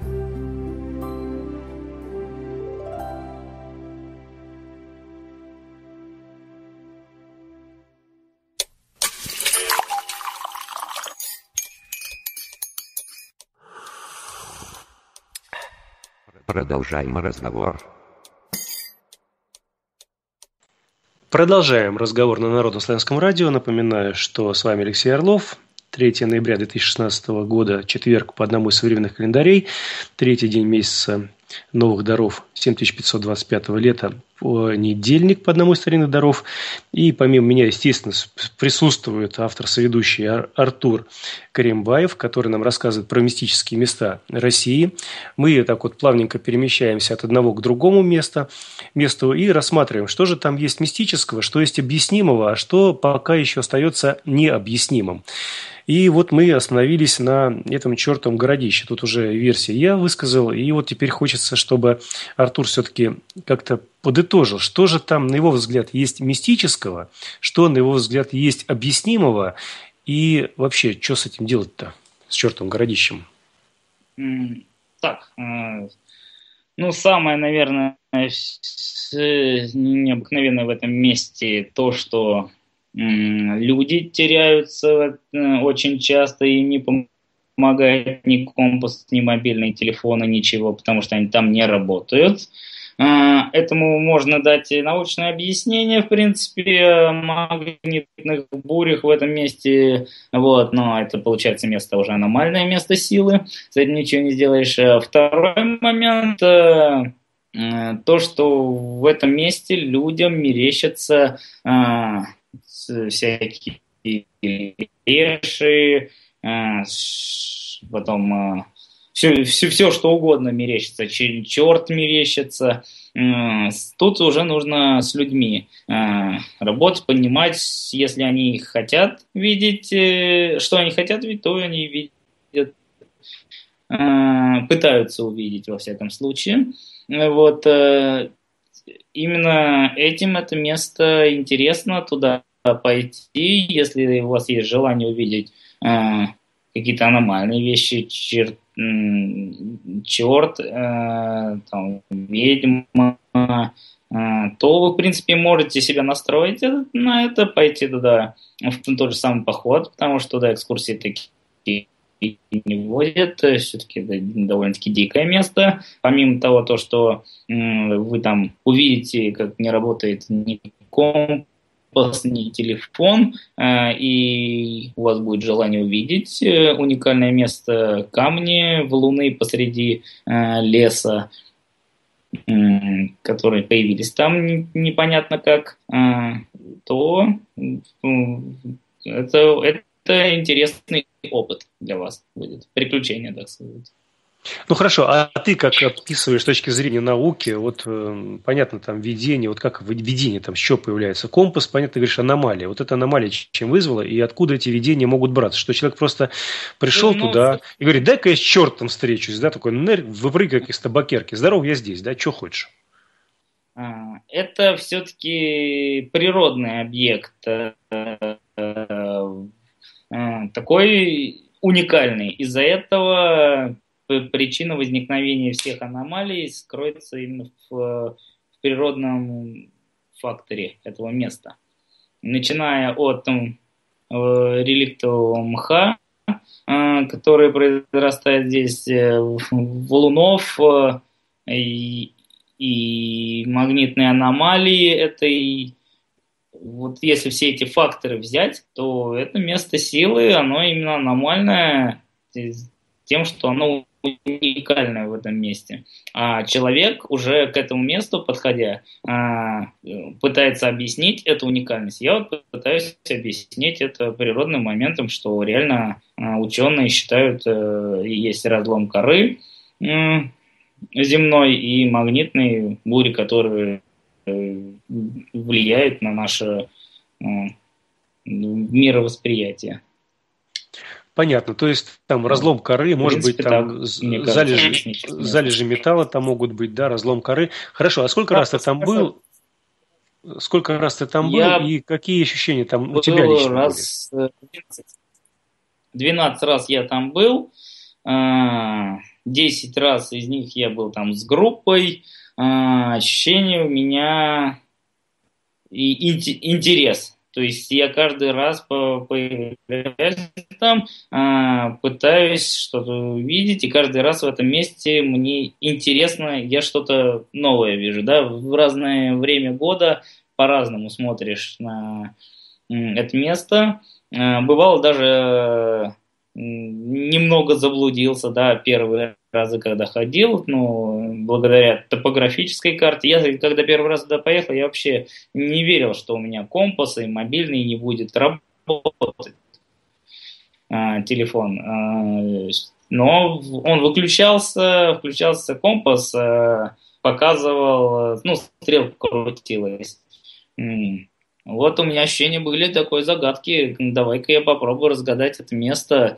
А, что же здесь не так? И первые разы были с небольшим испугом, страхом вот, э, проведены в этом месте, но потом я понял, что я уже на опыте могу туда людей повести и показать, чтобы вместе с ними разобраться в этом месте. Э, уже чувствовал себя очень комфортно, э, когда с, люди, с большой группой людей и заинтересованы одной целью, а, в этом месте находишься. Вот. Ну, такие ощущения я испытывал. Да, в первые разы даже страхи были. Угу. Ну да. А я так думал, выходит леший, так весной пришел, зелененький весь. Ну как я так, новые ну, шубейки, нормально? Что? Ну, весной приходишь, а там Лешка тебе подходит в зеленом, да, как меня шубейка новая, нормально, хорошо. Осенью приехал, вот видишь, к зиме готовлюсь, там, сейчас пока весь желтенький. Зимой приехал, а у меня такой весь беленький, например, там, посмотри, клок у меня серой шерсти не остался, нет, нормально, хорошо. Ну, это так, конечно, шутки. Понятно. Еще очень забавный факт этого места, вот про времена год, да, сказали, а, тропа все время разная. А, поэтому туда одного пути как, как такового нету а, в это место. Из-за этого, возможно, люди и блуждают. Плюс компас не работает. А, и да, сезонность в этом месте все-таки есть. Хорошо. Ну, в общем, интересно. То есть, э, ты, грубо говоря, ты советуешь туда пойти, что-то посмотреть, ощутить, или все-таки не советуешь? А если советуешь, то с кем лучше туда пойти? С тобой или с кем-то там из инструкторов, более таких, э, которые там уже более много раз?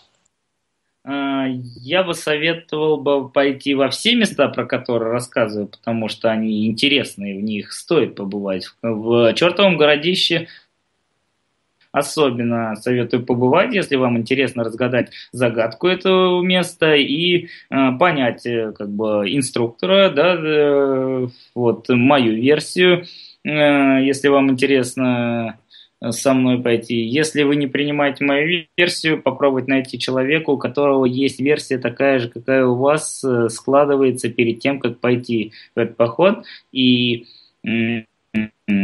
вы прочувствуете это место именно так, как вы себя настроите.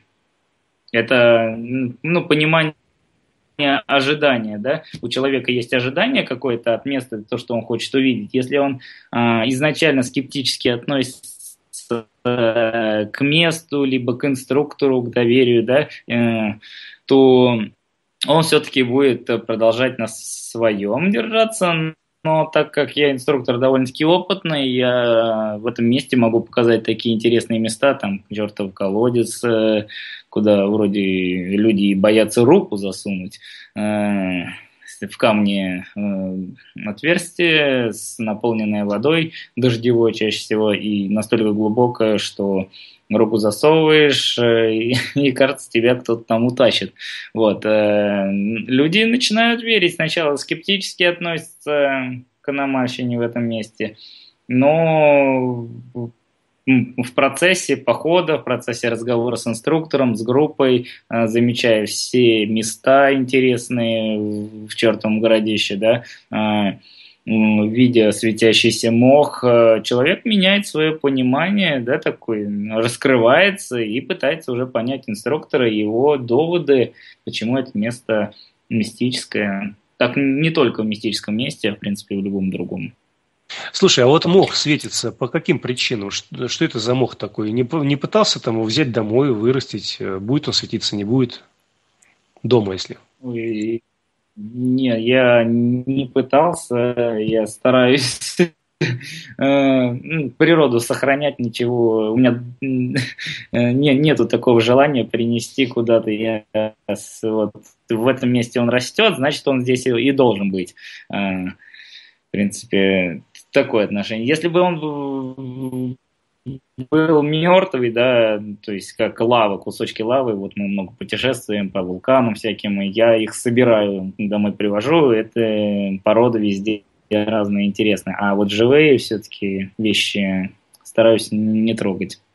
А что он светится по каким причинам? Известно, нет? А, мог светиться из-за ну, скорее всего, я вот точно не скажу, из-за газов, которые он дышит и выделяет как раз метан и другие воспламеняющиеся легкие газы при воздействии с кислородом. Вот. Точное название ее жизнедеятельности я не скажу, как он светится. А, видел, что светится, показывал места. Он не, не вот там во всех местах растет, он а, там в пещерке такой небольшой. И именно вечером нужно туда подойти, когда стемнеет уже, чтобы увидеть светящийся мох. То есть э, выделяет газ, нанюхался, а потом тебе леший с чертями мерещится, да? Получается так. Ну, не, не такое сильное воздействие, мне кажется. Э, леший с чертями еще до мха мерещится группе э, в виде много пеньков, э, которые не, не, не отпилены, то есть человеком, да, дерево упала, э, обломилась, и у него форма появилась немного похожая на человека, сгорбленного, э, и у него ветка какая-нибудь торчит, с кого-то рука. Потом э, маленькие пеньки и в темноте, если человек идет, вот как у нас поход проходит после Оптиной пустыни, то идешь, знаю несколько мест, если на них фонариком посветить, то люди пугаются, думают, что это какое-то животное сидит, э,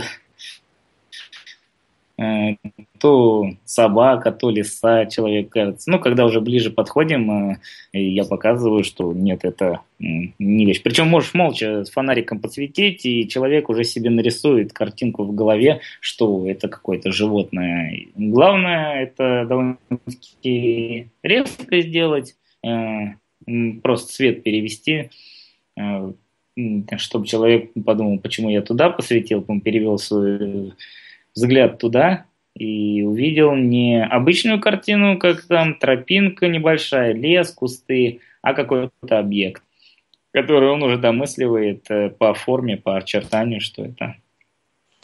В общем, попугиваешь ты народ, получается так. Да, да, бывает. Хорошо. Попугиваю с разными байками. Вот.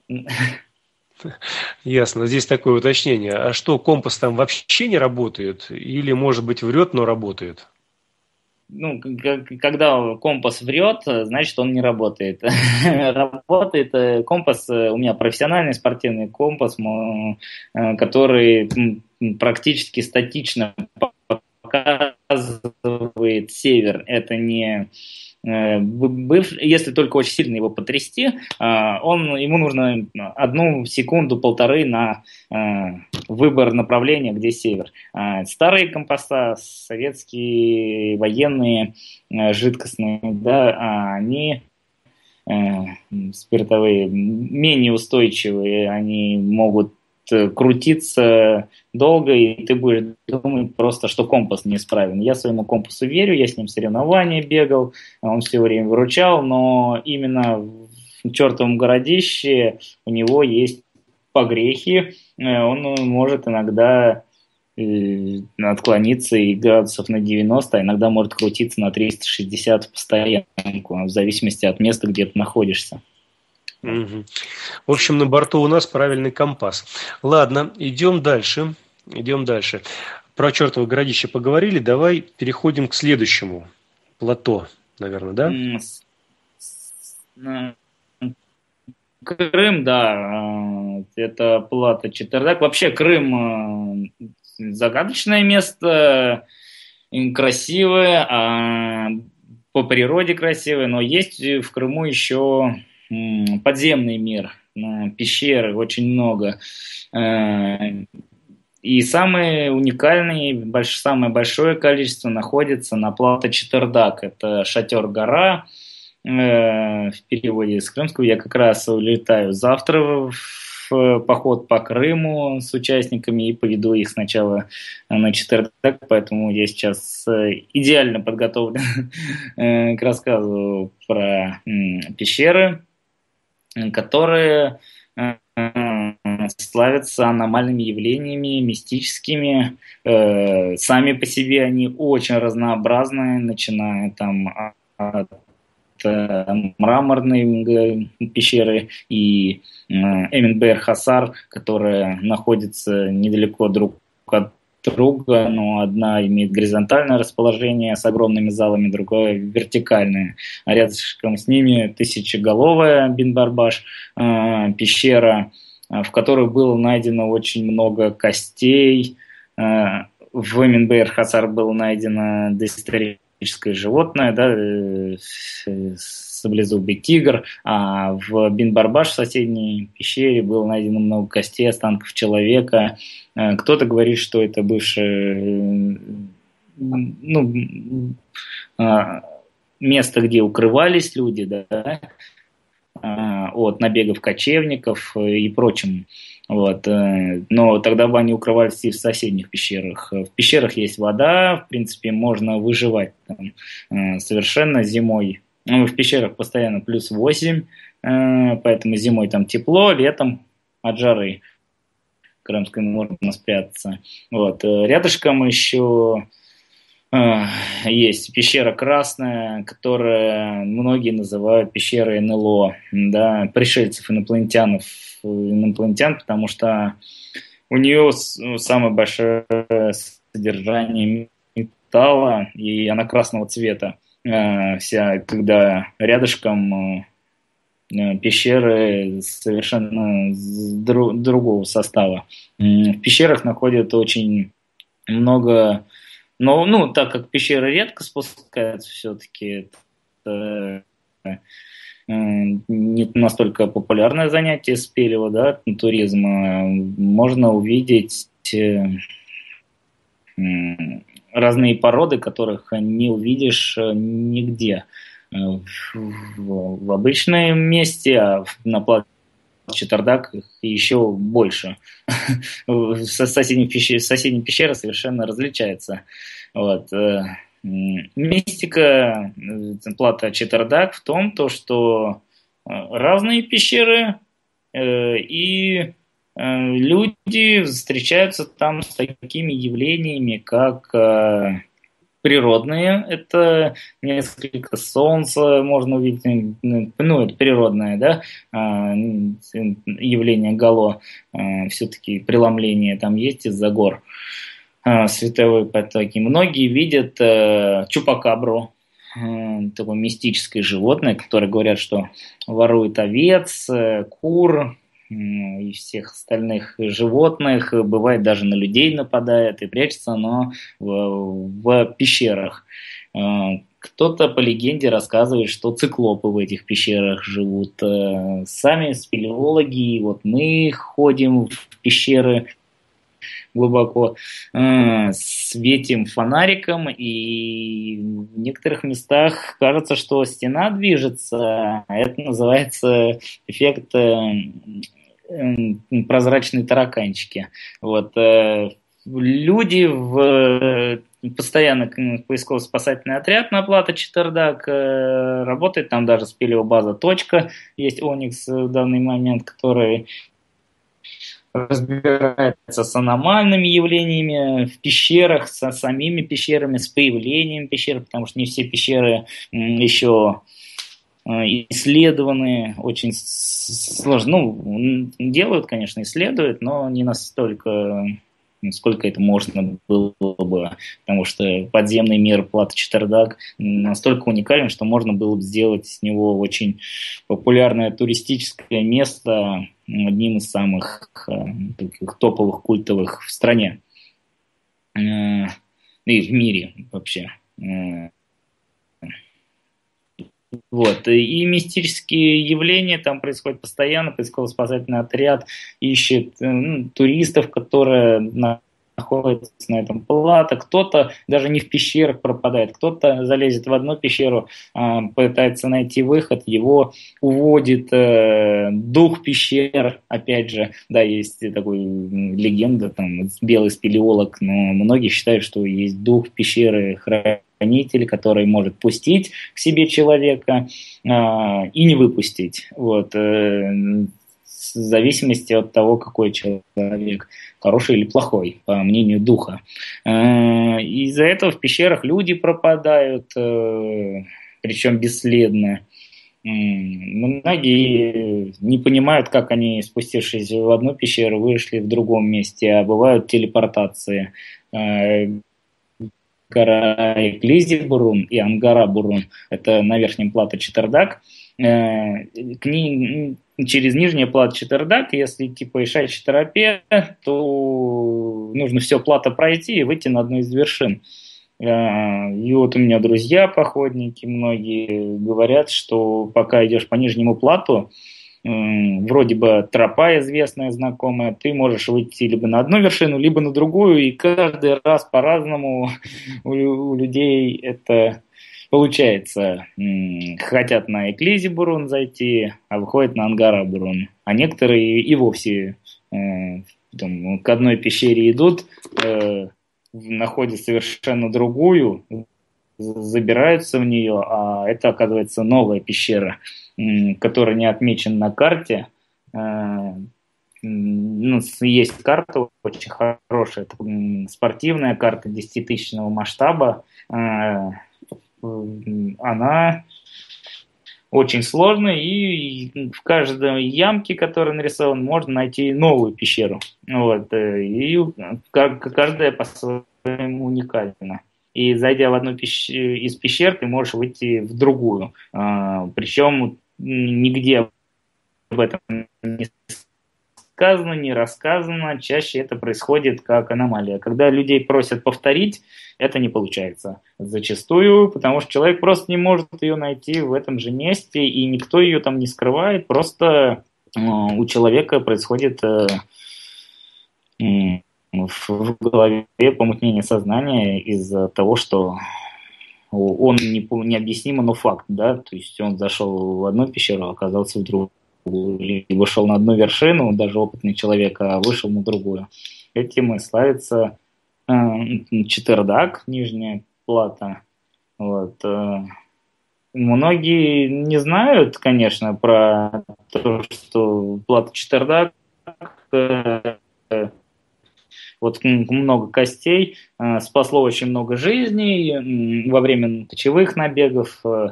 Люди прятались, в пещерах, вода есть, выживали, и дальше, получается, кочевники уходили, и люди понимали, что это одно из лучших мест э, жительства. Но было ну, проживание, укрытие для себя, потому что вдруг следующие кочевники ну, эти, э, нападающие придут, либо обратно пойдут. Из-за этого на, на плато нашли много костей в этих пещерах. Э, люди, как я понимаю, э, пытались укрыться, и пещеры обваливалось, такое бывало. Либо их э, хоронили там. Из-за этого мест ну, много костей нашли. До сих пор ученые гадают, как они там оказались и почему именно в одной пещере ну, пещера по сравнению с другими довольно-таки большая. И использовать ее под э, сказать, кладбище было бы нецелесообразно. Вот. Если знать эту историю всю, то, конечно, по, по пещерам довольно-таки опасно ходить, если у тебя психологически неустойчивый да, ты психологически неустойчив, тебе будет казаться, что где-то тысяч скелет лежит э, и тому подобное. Вот. Но я вожу людей э, частенько по пещерам, э, совершенно диким. Э, это Сукоба, э, там есть э, лазы, э, куда человеку очень тяжело пролезть. И э, перед тем, как э, в в пещеру полезть, я рассказываю историю про эту пещеру, и люди спускаются туда.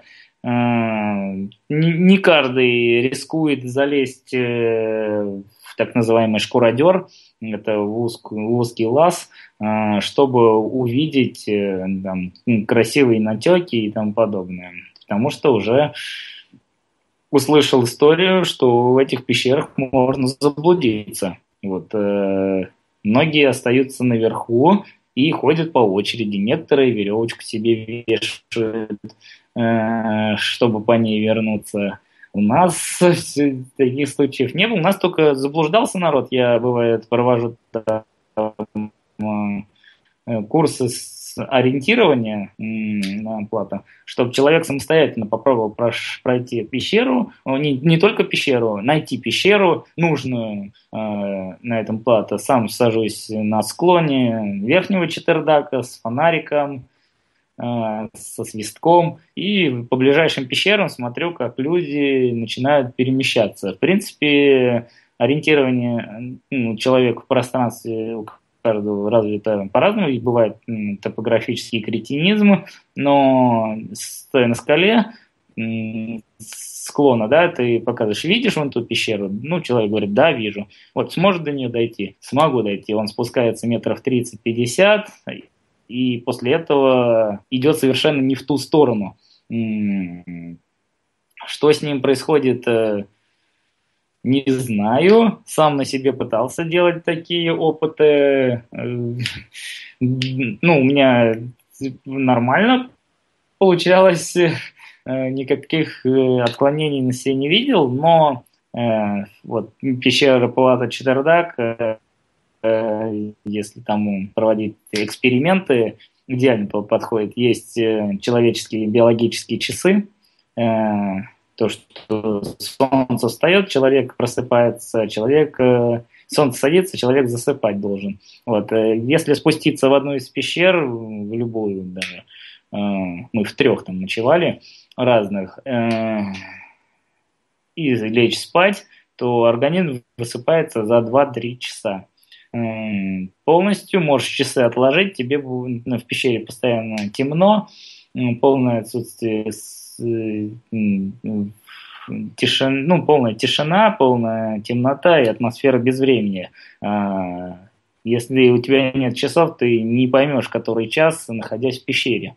Вот. Изменяются вкусовые рецепторы, и тебе кажется все это необычным. Ты, выходя из пещер, а, думаешь, что ты в ней провел а, 12 часов или выспался за 8 часов, а оказывается всего 2 часа.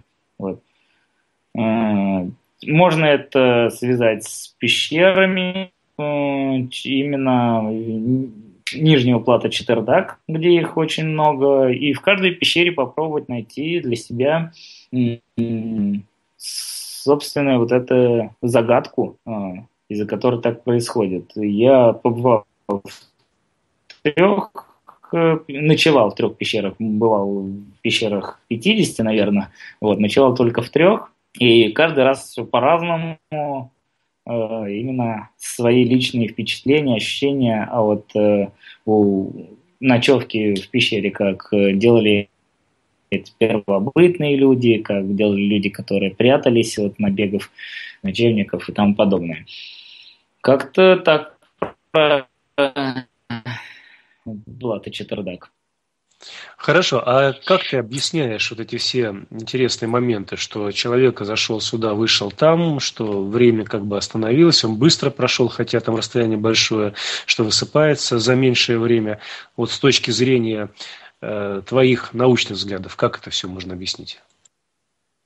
Ну, я считаю, что это место силы. Э, здесь э, находится как-то объяснить, э, да, сложно объяснить того, что довольно-таки плохо понимаешь, э, как это может произойти, э, но, но это факт. Сейчас постараюсь это сделать.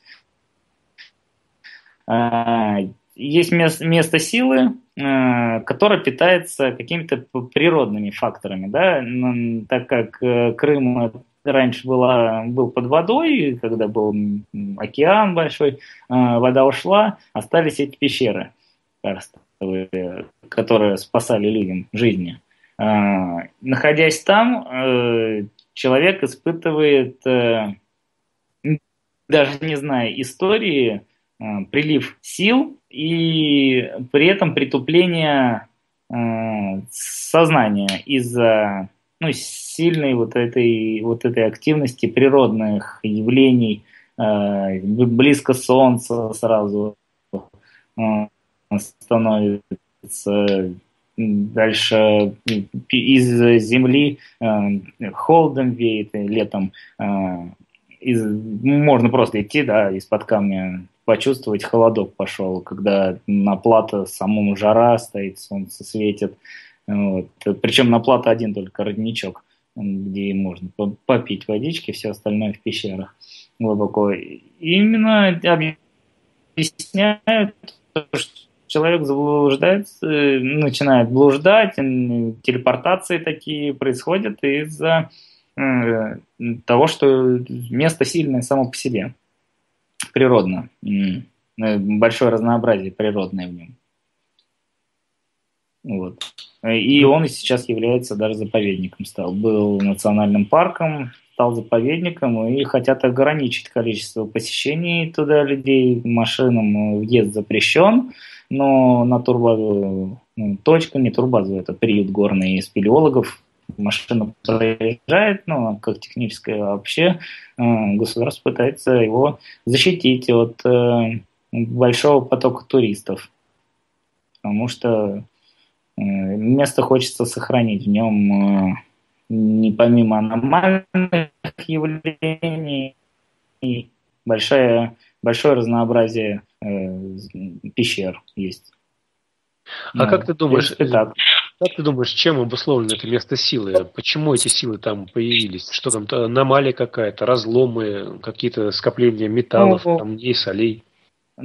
Там настолько много пещер, что получается, что ты ходишь по плато, а под тобой и под землей не вот слой там земли, песка, еще что-то, а что-то еще есть полностью. То есть подземный город целый огромный из пещер, котором есть вероятность, что кто-то даже обитает, что кто-то живет, и оттуда идет какая-то сила из-под земли. Э, находясь, например, э, там, в Московской области, либо где-нибудь, э, ты понимаешь, что у тебя под ногами. В, на плато Четвердак ты понимаешь, знаешь, что там пещеры, понимаешь, что там есть пустота, которая возможно, не, не настолько пустая. Вот. Э, там, может, и животные какие-нибудь э, сохранились, живут дикие. Может быть, люди ходят, может быть, там происходят какие-то военные разработки и тому подобное. А, земля там живая э, в этом плане. То есть под землей что-то есть. И земля дышит, знаете, такое выражение есть. Вот и именно плата Четвердак этим и славится. А там реально земля дышит. Понятно. Давай некоторые вопросы еще озвучим от Владимира Зматищ. Артур, в ваших экспедициях действует сухой закон или э, разрешается для сугрева жахнуть? А, ну, в зависимости от похода, да, от группы и от э, атмосферы в группе, да. Если это лайтовый поход, то, ну, легкий совсем, то у нас э, не возбраняется это демократическое отношение. Кто хочет пьет, кто не хочет не пьет, но с утра должны все встать э, как штык, никому это не должно вредить. И главное, чтобы это было все в меру. Если я вижу, что это не в меру, я пресекаю э, дальнейшее употребление алкогольных напитков. Вот. Бывает поход э, сложный, то же самое, вот э, перевал, за перевалом Дятлова, Мань Пупанер, до тут дойти нужно, это по 25 километров в день, еще психологически понимаешь, что эвакуации у тебя нету, там людям нужен просто алкоголь психологически некоторым, которым помочь, да, Э, помогает э, алкоголь. Э, там дождь постоянный, ноги мокрые, палатки мокрые, чтобы не заболеть в медицинских целях. Мы много алкоголя никогда не берем, все-таки это таскать на себе. Если берем, берем то спирт, который разводим с водой, и очень экономно, по 50-100 грамм максимум уже разведенного, получается, спирта то есть, употребляем. Но в большинстве планов, э, точнее походов, да, экспедиций пьют совсем понемногу. Вот по 50-100 грамм максимум за три дня. Вот. Угу. В принципе, как-то так. Ну, понятно. Редакция Народного радио предупреждает, что алкоголь употреблять это вредно, вот, даже, казалось бы, в таких случаях. И то, что еще надо понимать, алкоголь действует несколько суток в организме человека, поэтому если вчера вы выпили, это не означает, что сегодня вы будете трезвым. Еще несколько дней он у вас будет работать и будет да. вас э, сбивать с пути истинного. Тем более, что пьяный человек не имеет меры. Если он выпил, то в этом случае то, что определяет меру, то есть мозг, он уже блокирован. А это означает, что мера для человека, который принял что-то с блокированным мозгом, она пропадает. Меру определяет ни рука, ни нога, ни ухо. Вот. Так что редакция Народно-славянского радио категорически выступает против того, чтобы употреблять алкоголь, даже когда трудно. Алкоголь необходим тогда, когда уже вообще другого выхода нет. Это как любой наркотик. Он должен применяться к месту и в то время, когда необходимо необходимо употреблять. А просто так, для того, чтобы повеселиться, как-то думают, вот. или расслабиться, вот. это не подходит. Алексей? Да-да. Можно еще про алкоголь? Я полностью с вами согласен, да? А, смотрите, э, тут такой момент, что когда вот безнадежная ситуация, что человеку кажется, и он э, психологический ком- комфорт группе не может поддерживать, и он все уже думает, все, я никуда дальше не пойду, у меня все мокрое, у меня все болит. А, только в этих случаях э, спирт наливается, и, он, э, человек ложится спать, когда ему голову нужно отключить. А если человек э, просто ради забавы алкоголь какой-то употребляет, то, конечно, тогда поход не состоится как таковой. Мозг у человека, когда отключен, до него и инструктору донести всю, весь интерес э, вот этого вида отдыха, активного похода проблематичен. Вот именно к этому я говорил. Понятно. Ну, я к этому же говорил, что алкоголь это наркотик, это яд, поэтому применение в развлекательных целях да. недопустимо, на мой взгляд, и на взгляд э, всех, кто в редакции участвует, нашего Народно-Славянского радио. Поэтому если человек не понимает, что это такое, то в этом случае он уничтожает себя. Если он понимает, что это такое, он тогда никогда себя уничтожать не будет и будет применять любой наркотик только тогда, когда вот другого варианта выжить, именно выжить, просто нет. И вот здесь Владимир Разматищ и другие написали, что алкоголь – это яд, это горючее. Используйте горючее по назначению. Так, идем дальше. Владимир из Матищ задает следующий вопрос. Артур, поисковый магнит не использовали в своих путешествиях? Металлоискатель? Нет, э, э, в путешествиях не используем, потому что это лишний вес, э, во-первых, а во-вторых, есть небольшой такой негласный закон, то, что поисковая, вот, может даже гласный сейчас закон уже. Э, поисковые работы нужно только по согласованию делать э, с администрацией места, с совсем. А незаконные раскопки запрещены. Поэтому мы не, носим с собой даже линия Энергейма, где э, много очень остатков с войны с белофинами, да, 39-40 года. Легко найти винтовки и тому подобное. Очень много туда чернокопателей вот этих приезжает с металлоискателями. Мы туда очень часто ездим, я вот недавно там был, вот, но мы никогда не берем металлоискатель, э, если у нас нет, так сказать, юридического подкрепления, ну, мы не, не занимаемся этим. Понятно. Вот. То есть законопослушные граждане. Дальше. Вопрос от Владимира Змутич. Артур, приборы какие-нибудь с собой берете? Дозиметр, оптику берете, бинокль, трубу или что-то похожее? Очень редко, потому что мы стараемся уменьшить э, вес максимально. Какие-то дополнительные приборы берем. Нам ну, в походе обычно нужно только то, что чем ты будешь пользоваться. Вот. Э, э, если нужна подзорная труба, это либо бинокль, то это северная тундра, вот, мыс Нордкин, заполярная Норвегия. А, туда я брал бинокль, а, чтобы увидеть вдали точку, тур так называемый, до которого нужно дойти. Если его по кратчайшему пути, а, если его не увидеть, вдали, то идти приходится по навигатору. Навигатор сжирает очень много э, электричества батареек, да, а, которых нужно нести. Поэтому это такой, э, такая экономия э, навигатора, веса за счет приборов. Вот, а так приборы стараемся не использовать. Понятно. Вот когда говорили про э, пещеры, то вот Владимир написал, по сказкам клубок всегда помогает. Не пробовали разматывать, ну, чтобы не потеряться, наверное. Ну, про клубок имеется в виду, что если привязать где-нибудь ниточку в пещеру зайти, то обратно по ниточке можно выйти.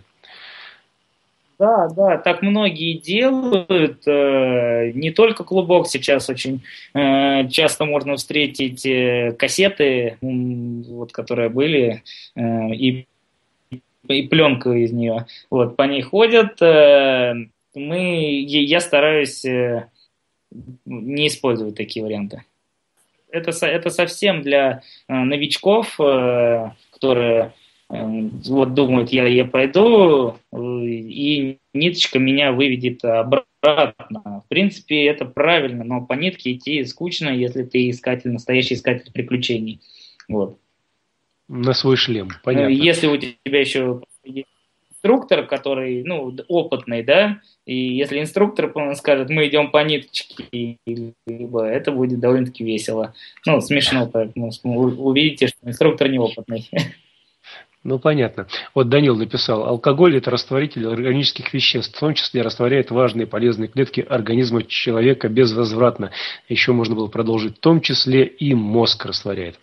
Ну, ладно, значит, все вопросы мы с тобой вроде бы разобрали. Теперь э, есть такая, наверное, немаловажная тема, что вначале говорил, что некоторые места силы, местами силами, в общем-то, наверное, не являются, люди их сами создают. Вот э, как ты думаешь, способен ли человек вообще создать место силы на Земле, чтобы оно на самом деле стало местом силы, чтобы там стали проявляться какие-то энергии, какие-то ощущения и так далее? Да, да, я считаю, если человек э, хочет, чтобы место, какое-то место стало местом силы, он может для этого приложить усилия всей своей жизни, например, э, возведением там красоты, либо какой-то необычности этого места. Если направить все ручьи в одно место, да, э, и вырастить там какой-нибудь красивый сад, а, то, а потом а, увести эти ручьи а, в обратное русло, да, то следующее поколение, следующие люди будут думать, что откуда здесь-то вот такой красивый сад. Наверное, здесь место силы. Вот. Э, потом начнут придумывать легенду, как это все могло получиться, и не одну, я думаю, легенду он придумают. И в конечном итоге это место силы станет э, мистическим, аномальным. Люди скажут, что они в этом месте питают энергию, либо видят э, необъяснимые вещи происходят. Э. Это так, мне кажется, с большинством местами вот этими мистическими, аномальными и происходит. Либо там должна быть ну, что-то катастрофическое произойти, о котором большую огласку приведет. И сделать это так загадочное, как с перевалом Дятлова, да, это сделали люди. Ну, если вырастет сад, если вырастет сад, то все-таки, наверное, там компас не будет отказываться работать, и сотовый там не будет отключаться. А, знаете, на Курской косе есть э, лес, э, с изогнутыми деревьями, да, есть э, предположение, что деревья специально загибали там, чтобы они красиво выглядели. Считается на Курской косе это местом аномальным. Вот. Но э, вот эти сосны изогнутые в непонятный вид, э, это все-таки э, дело рук человека. А насчет магнитной аномалии, то, в принципе, это тоже можно сделать, если э, в каком-то, ну, взять ну, какую-то землю, зарыть туда очень много металла, либо аккумуляторы, то стрелка компаса будет крутиться. Э, либо поставить очень сильный э, магнитный излучатель, как на всяких радиовышках и там подобное. Ну, не радиовышках, а Э, волны, которые принимает, там тоже компас не будет работать. В принципе, это сделать можно, обладая технологиями, которые в современном мире есть. А, а такие места, а, как э, вот в Перу, вот, э, кладка камней и там подобное, сейчас сделать не могут то есть обладая, не обладая технологиями. Из-за этого это более аномальные вещи, которые э, мистические, да, э, ну, про то, что какая-то цивилизация была. Угу. Ну вот чертово городище, на мой взгляд, из того, что рассказал, это наиболее ярко проявленное такое аномальное место, место силы, где есть и растения эндемики, которые в других местах не встречаются, особо так не встретишь. И часто видение у людей происходит, и сама вот эта кладка полукругом, э, и компас там пляшет, и много-много чего другое происходит. Да и, как я ну. обратил внимание, как раз там вот эти, как будто бы кладка, не просто это искусственное что-то, тем более, что вокруг нет гор, казалось бы, скал нет, а вот в этом месте оно есть. Но мне такое впечатление, что была там когда-то древнейшая какая-то лаборатория, какое-то, может быть, здание, ну, типа института там 200 тысяч лет назад, может быть, может быть, где-нибудь там 100, 150, может быть, там, ну, к примеру, да, что-то там произошло, бабахнуло, бабахнуло, ну, и вот э, как-то вот осталось, и с тех пор там и аномальные все происходят э, такие явления. Вот Владимир 51 написал вопрос эфира. А места силы в Мурманской области, например, озеро, Сеид озеро, Сеиды, Куевы, Куева, что об этом можно сказать?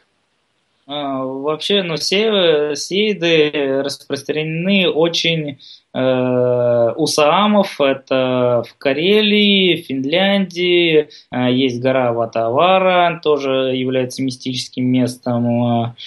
Это места, место силы, куда приходят э, люди, паломники в этих местах Э, сейчас туристов очень много.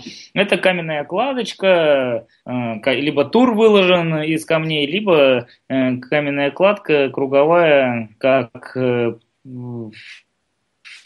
спиралью сделана, где человек питает силы. Очень любят такие места сейчас йога, йогой, кто занимается Чаще всего это, в таки, это место с очень красивым видом. А, да, оно является местом силы. Э, человек, находясь там, видит красивое вокруг себя. А, либо гора Ватавара, да, там необычная, то есть на горе болото находится, и камни, сейды выложены огромные, которые Непонятно, как огромный камень поставили на три маленьких камушка. Зачем это нужно было? Вот. И именно в этом месте. А, в принципе, человек да, питает в этом месте силу, как древние саамы, которые все это делали. Ой, ты прям с такой уверенностью, ты с такой уверенностью это, говоришь, что ну, древние самы это делали. Может быть, древние самы туда пришли, а там уже все стояло. Сказала, ребята, наслаждайтесь, мы уже за вас все сделали. Теперь вот войдите хороводы вокруг нас и там кланяйтесь, поклоняйтесь. Если честно, я в этих местах много раз был, с проводниками много читал, и самое большое, большее количество людей, более авторитетных – все-таки говорили, что это рукотворное, вот, не, я не, я не против того, что это рукотворно. Я говорю, я говорю к тому, что, например, что? так же, как... Я к тому говорю, не то, что это не, э, там, не рукотворно, я про другое говорю. Я говорю про то, что примерно древние самы также строили сейды, как древние, например, инки, ацтеки и майя строили вот те вот э, городища, о которых мы тут говорили. Вполне возможно, что эти постройки были и до древних самов, и до древних майя, инков и ацтеков вместе взятых.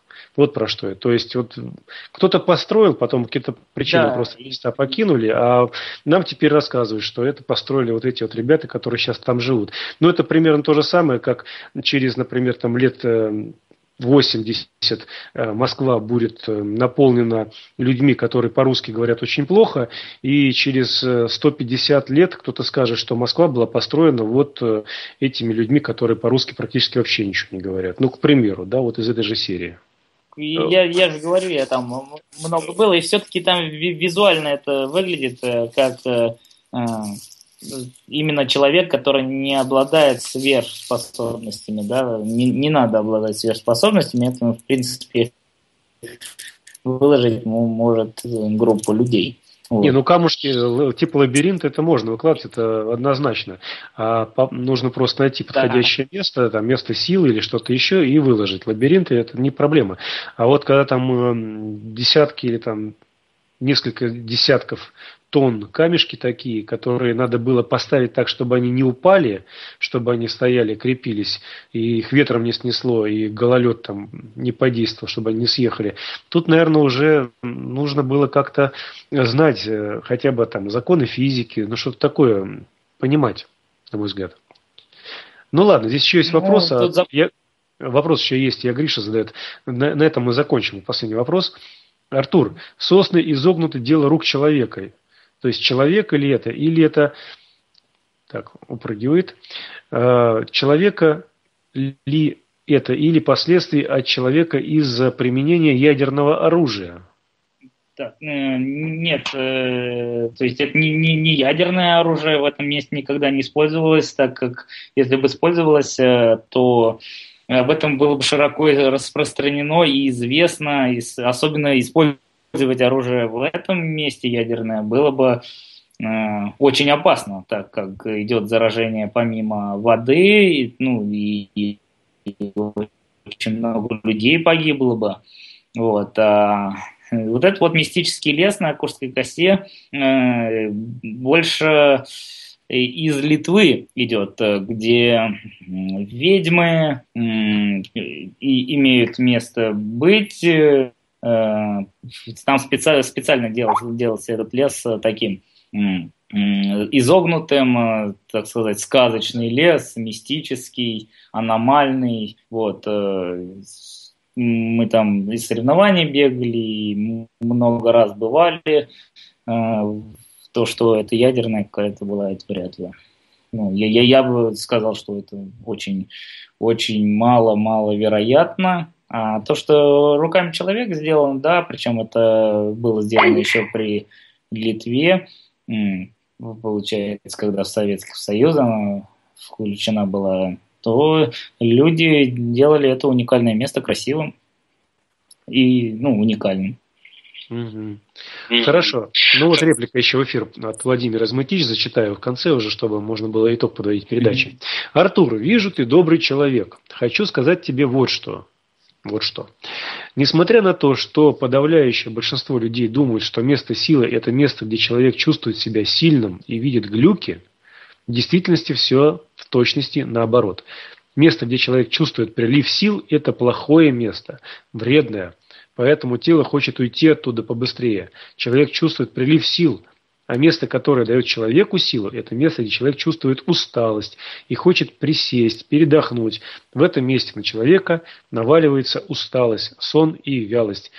Вот так. Не давайте проходимцам дурить вам мозг, не рискуйте за зря. Владимир из Мытищ. Интересно, да. Ну, можно было прокомментировать э, ну, это мнение человека, ну, как бы все люди разные, каждый по-своему думает. Я вот считаю, что мистические места, конечно, есть, но большинство из них аномалия, придуманная людьми, да. Ну что ж, Давай подводить итог сегодняшней нашей встречи. Ты можешь э, буквально так провести черту. Итак, из этой передачи вы узнали. Можешь этого не делать. Можешь просто попрощаться, пожелать что-то хорошее нашим радиослушателям, э, пожелать что-либо от себя и на этом закончить передачу. То есть вот свобода выбора сейчас у тебя есть. Пожалуйста, говори, что хочешь в конце передачи. Да, я бы сказал всем людям побольше путешествуйте в интересные места. Пусть они будут э, и мистическими, и аномальными, и просто красивыми. Узнавайте этот мир. А, через это вы больше, ну, своими глазами вы больше увидите и больше поймете, больше узнаете, чем кого-то как раз послушав, э, э, от кого-то услышав и тому подобное. Лучше своими глазами один раз услышать, чем увидеть, чем сто раз услышать. Вот.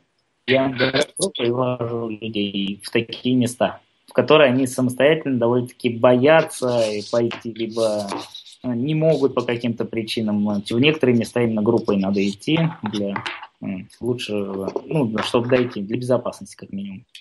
То есть не занимайтесь самодеятельностью, вот, обращайтесь, что я хотел. обращайтесь к опытным инструкторам, проводникам, которые знают, как себя вести в том или ином месте, которые не допустят того, чтобы с вами произошла беда. Даже в самом-самом мистическом, самом-самом аномальном месте. Ну что ж, э, напоминаю, что сегодня у нас 3 ноября 2016 года, четверг по одному из современных календарей, третий день месяца новых даров 7525 лета по недельник по одному из старинных календарей. Мистические места России. Такова тема сегодняшнего нашего эфира. Автор-сведущий Артур Каримбаев. Благодарность тебе за э, откровенный разговор, за то, что поделился своими наблюдениями. Почему вот именно мне понравилось может быть, кто-то не услышал того, что хотел услышать. Я не знаю, какие там были настрои. Почему мне понравилось вот сегодняшний наш эфир, вот твое изложение? Потому что не было вот этой восхищенности, которую часто приходится слышать. Ой, я съездил туда, ой, я была вот там, ой, мы вот это видели, вот это. И не могут ничего объяснить, не пытаются что-то объяснить. Просто вот э, эйфория какая-то. А потом вдруг оказывается, что это, ну, кто-то там грубо говоря, из соседей костер сжег, да, и там э, много дыма было, и солнышко так зашло, что что-то показалось. Ну, условно, так, конечно, утрирую, сами понимаете, ни над кем не издеваюсь, а то опять мне скажут, а издеваешься над кем-то? Нет. А есть на самом деле места, где вот реально места силы нашей матушки Земли, где издревле, издревле доисторические еще места, что-то было построено, что-то было сделано, со временем это было разрушено или убрано, или перестроено. Всем, наверное, уже известно о том, что многие современные храмы, они строятся, ну, религиозные имеется в виду, строятся на каких-то древних местах силы, там, где были, может быть, капища какие-то размещены, в свою очередь, которые тоже строились на местах силы, и, может быть, эти места силы были кем-то организованы в древние времена для каких-то целей, которые современным людям, может быть, и непонятно. То есть, еще раз, мне эфир понравился Первое, открытостью, откровенностью, что человек э, без каких-то иллюзий рассказывал то, как он это видит, даже если кому-то не понравилось, может кто-то хотел, ну вот сейчас нам тут расскажут такое. Вот, вот это здорово было и замечательно. Побольше бы эфиров, где приводились реальные факты. Вот есть это, вот есть это, вот есть так, вот есть так. Ну, на мой взгляд, э, знаешь, что не хватает вот на будущее? Может быть, проводить какие-то э, параллели, может быть, с какими-то древними, более древними, ну, то, что доисторическими раскопками, находками на этом месте. Вот это было бы еще дополнительное такое звено в, в твоем рассказе, что еще бы больше людей привлекло. Потому что то, что рассказали местные люди, какую-то свою версию, какое-то свое предание, это здорово, отлично, но сами мы понимаем, что оно, понятно, чем-то строится реально происходящим. Но хотелось бы еще более глубокой информации. А вот тут надо уже покопаться и не просто в исторических документах, а может быть в чем-то более древнем. Итак, еще раз говорю, мистические места сил э, России. Такова тема сегодняшнего нашего эфира. Артур Каримбаев автор-соведущий. Благодарность всем нашим радиослушателям, которые в чате участвовали, общались, писали свои заметки, задавали вопросы. Благодарю вас, друзья мои. С вами всегда очень интересно общаться. Жду вас в новых наших эфирах. Следите за анонсами. Желаю всем добра. До новых встреч. Услышимся.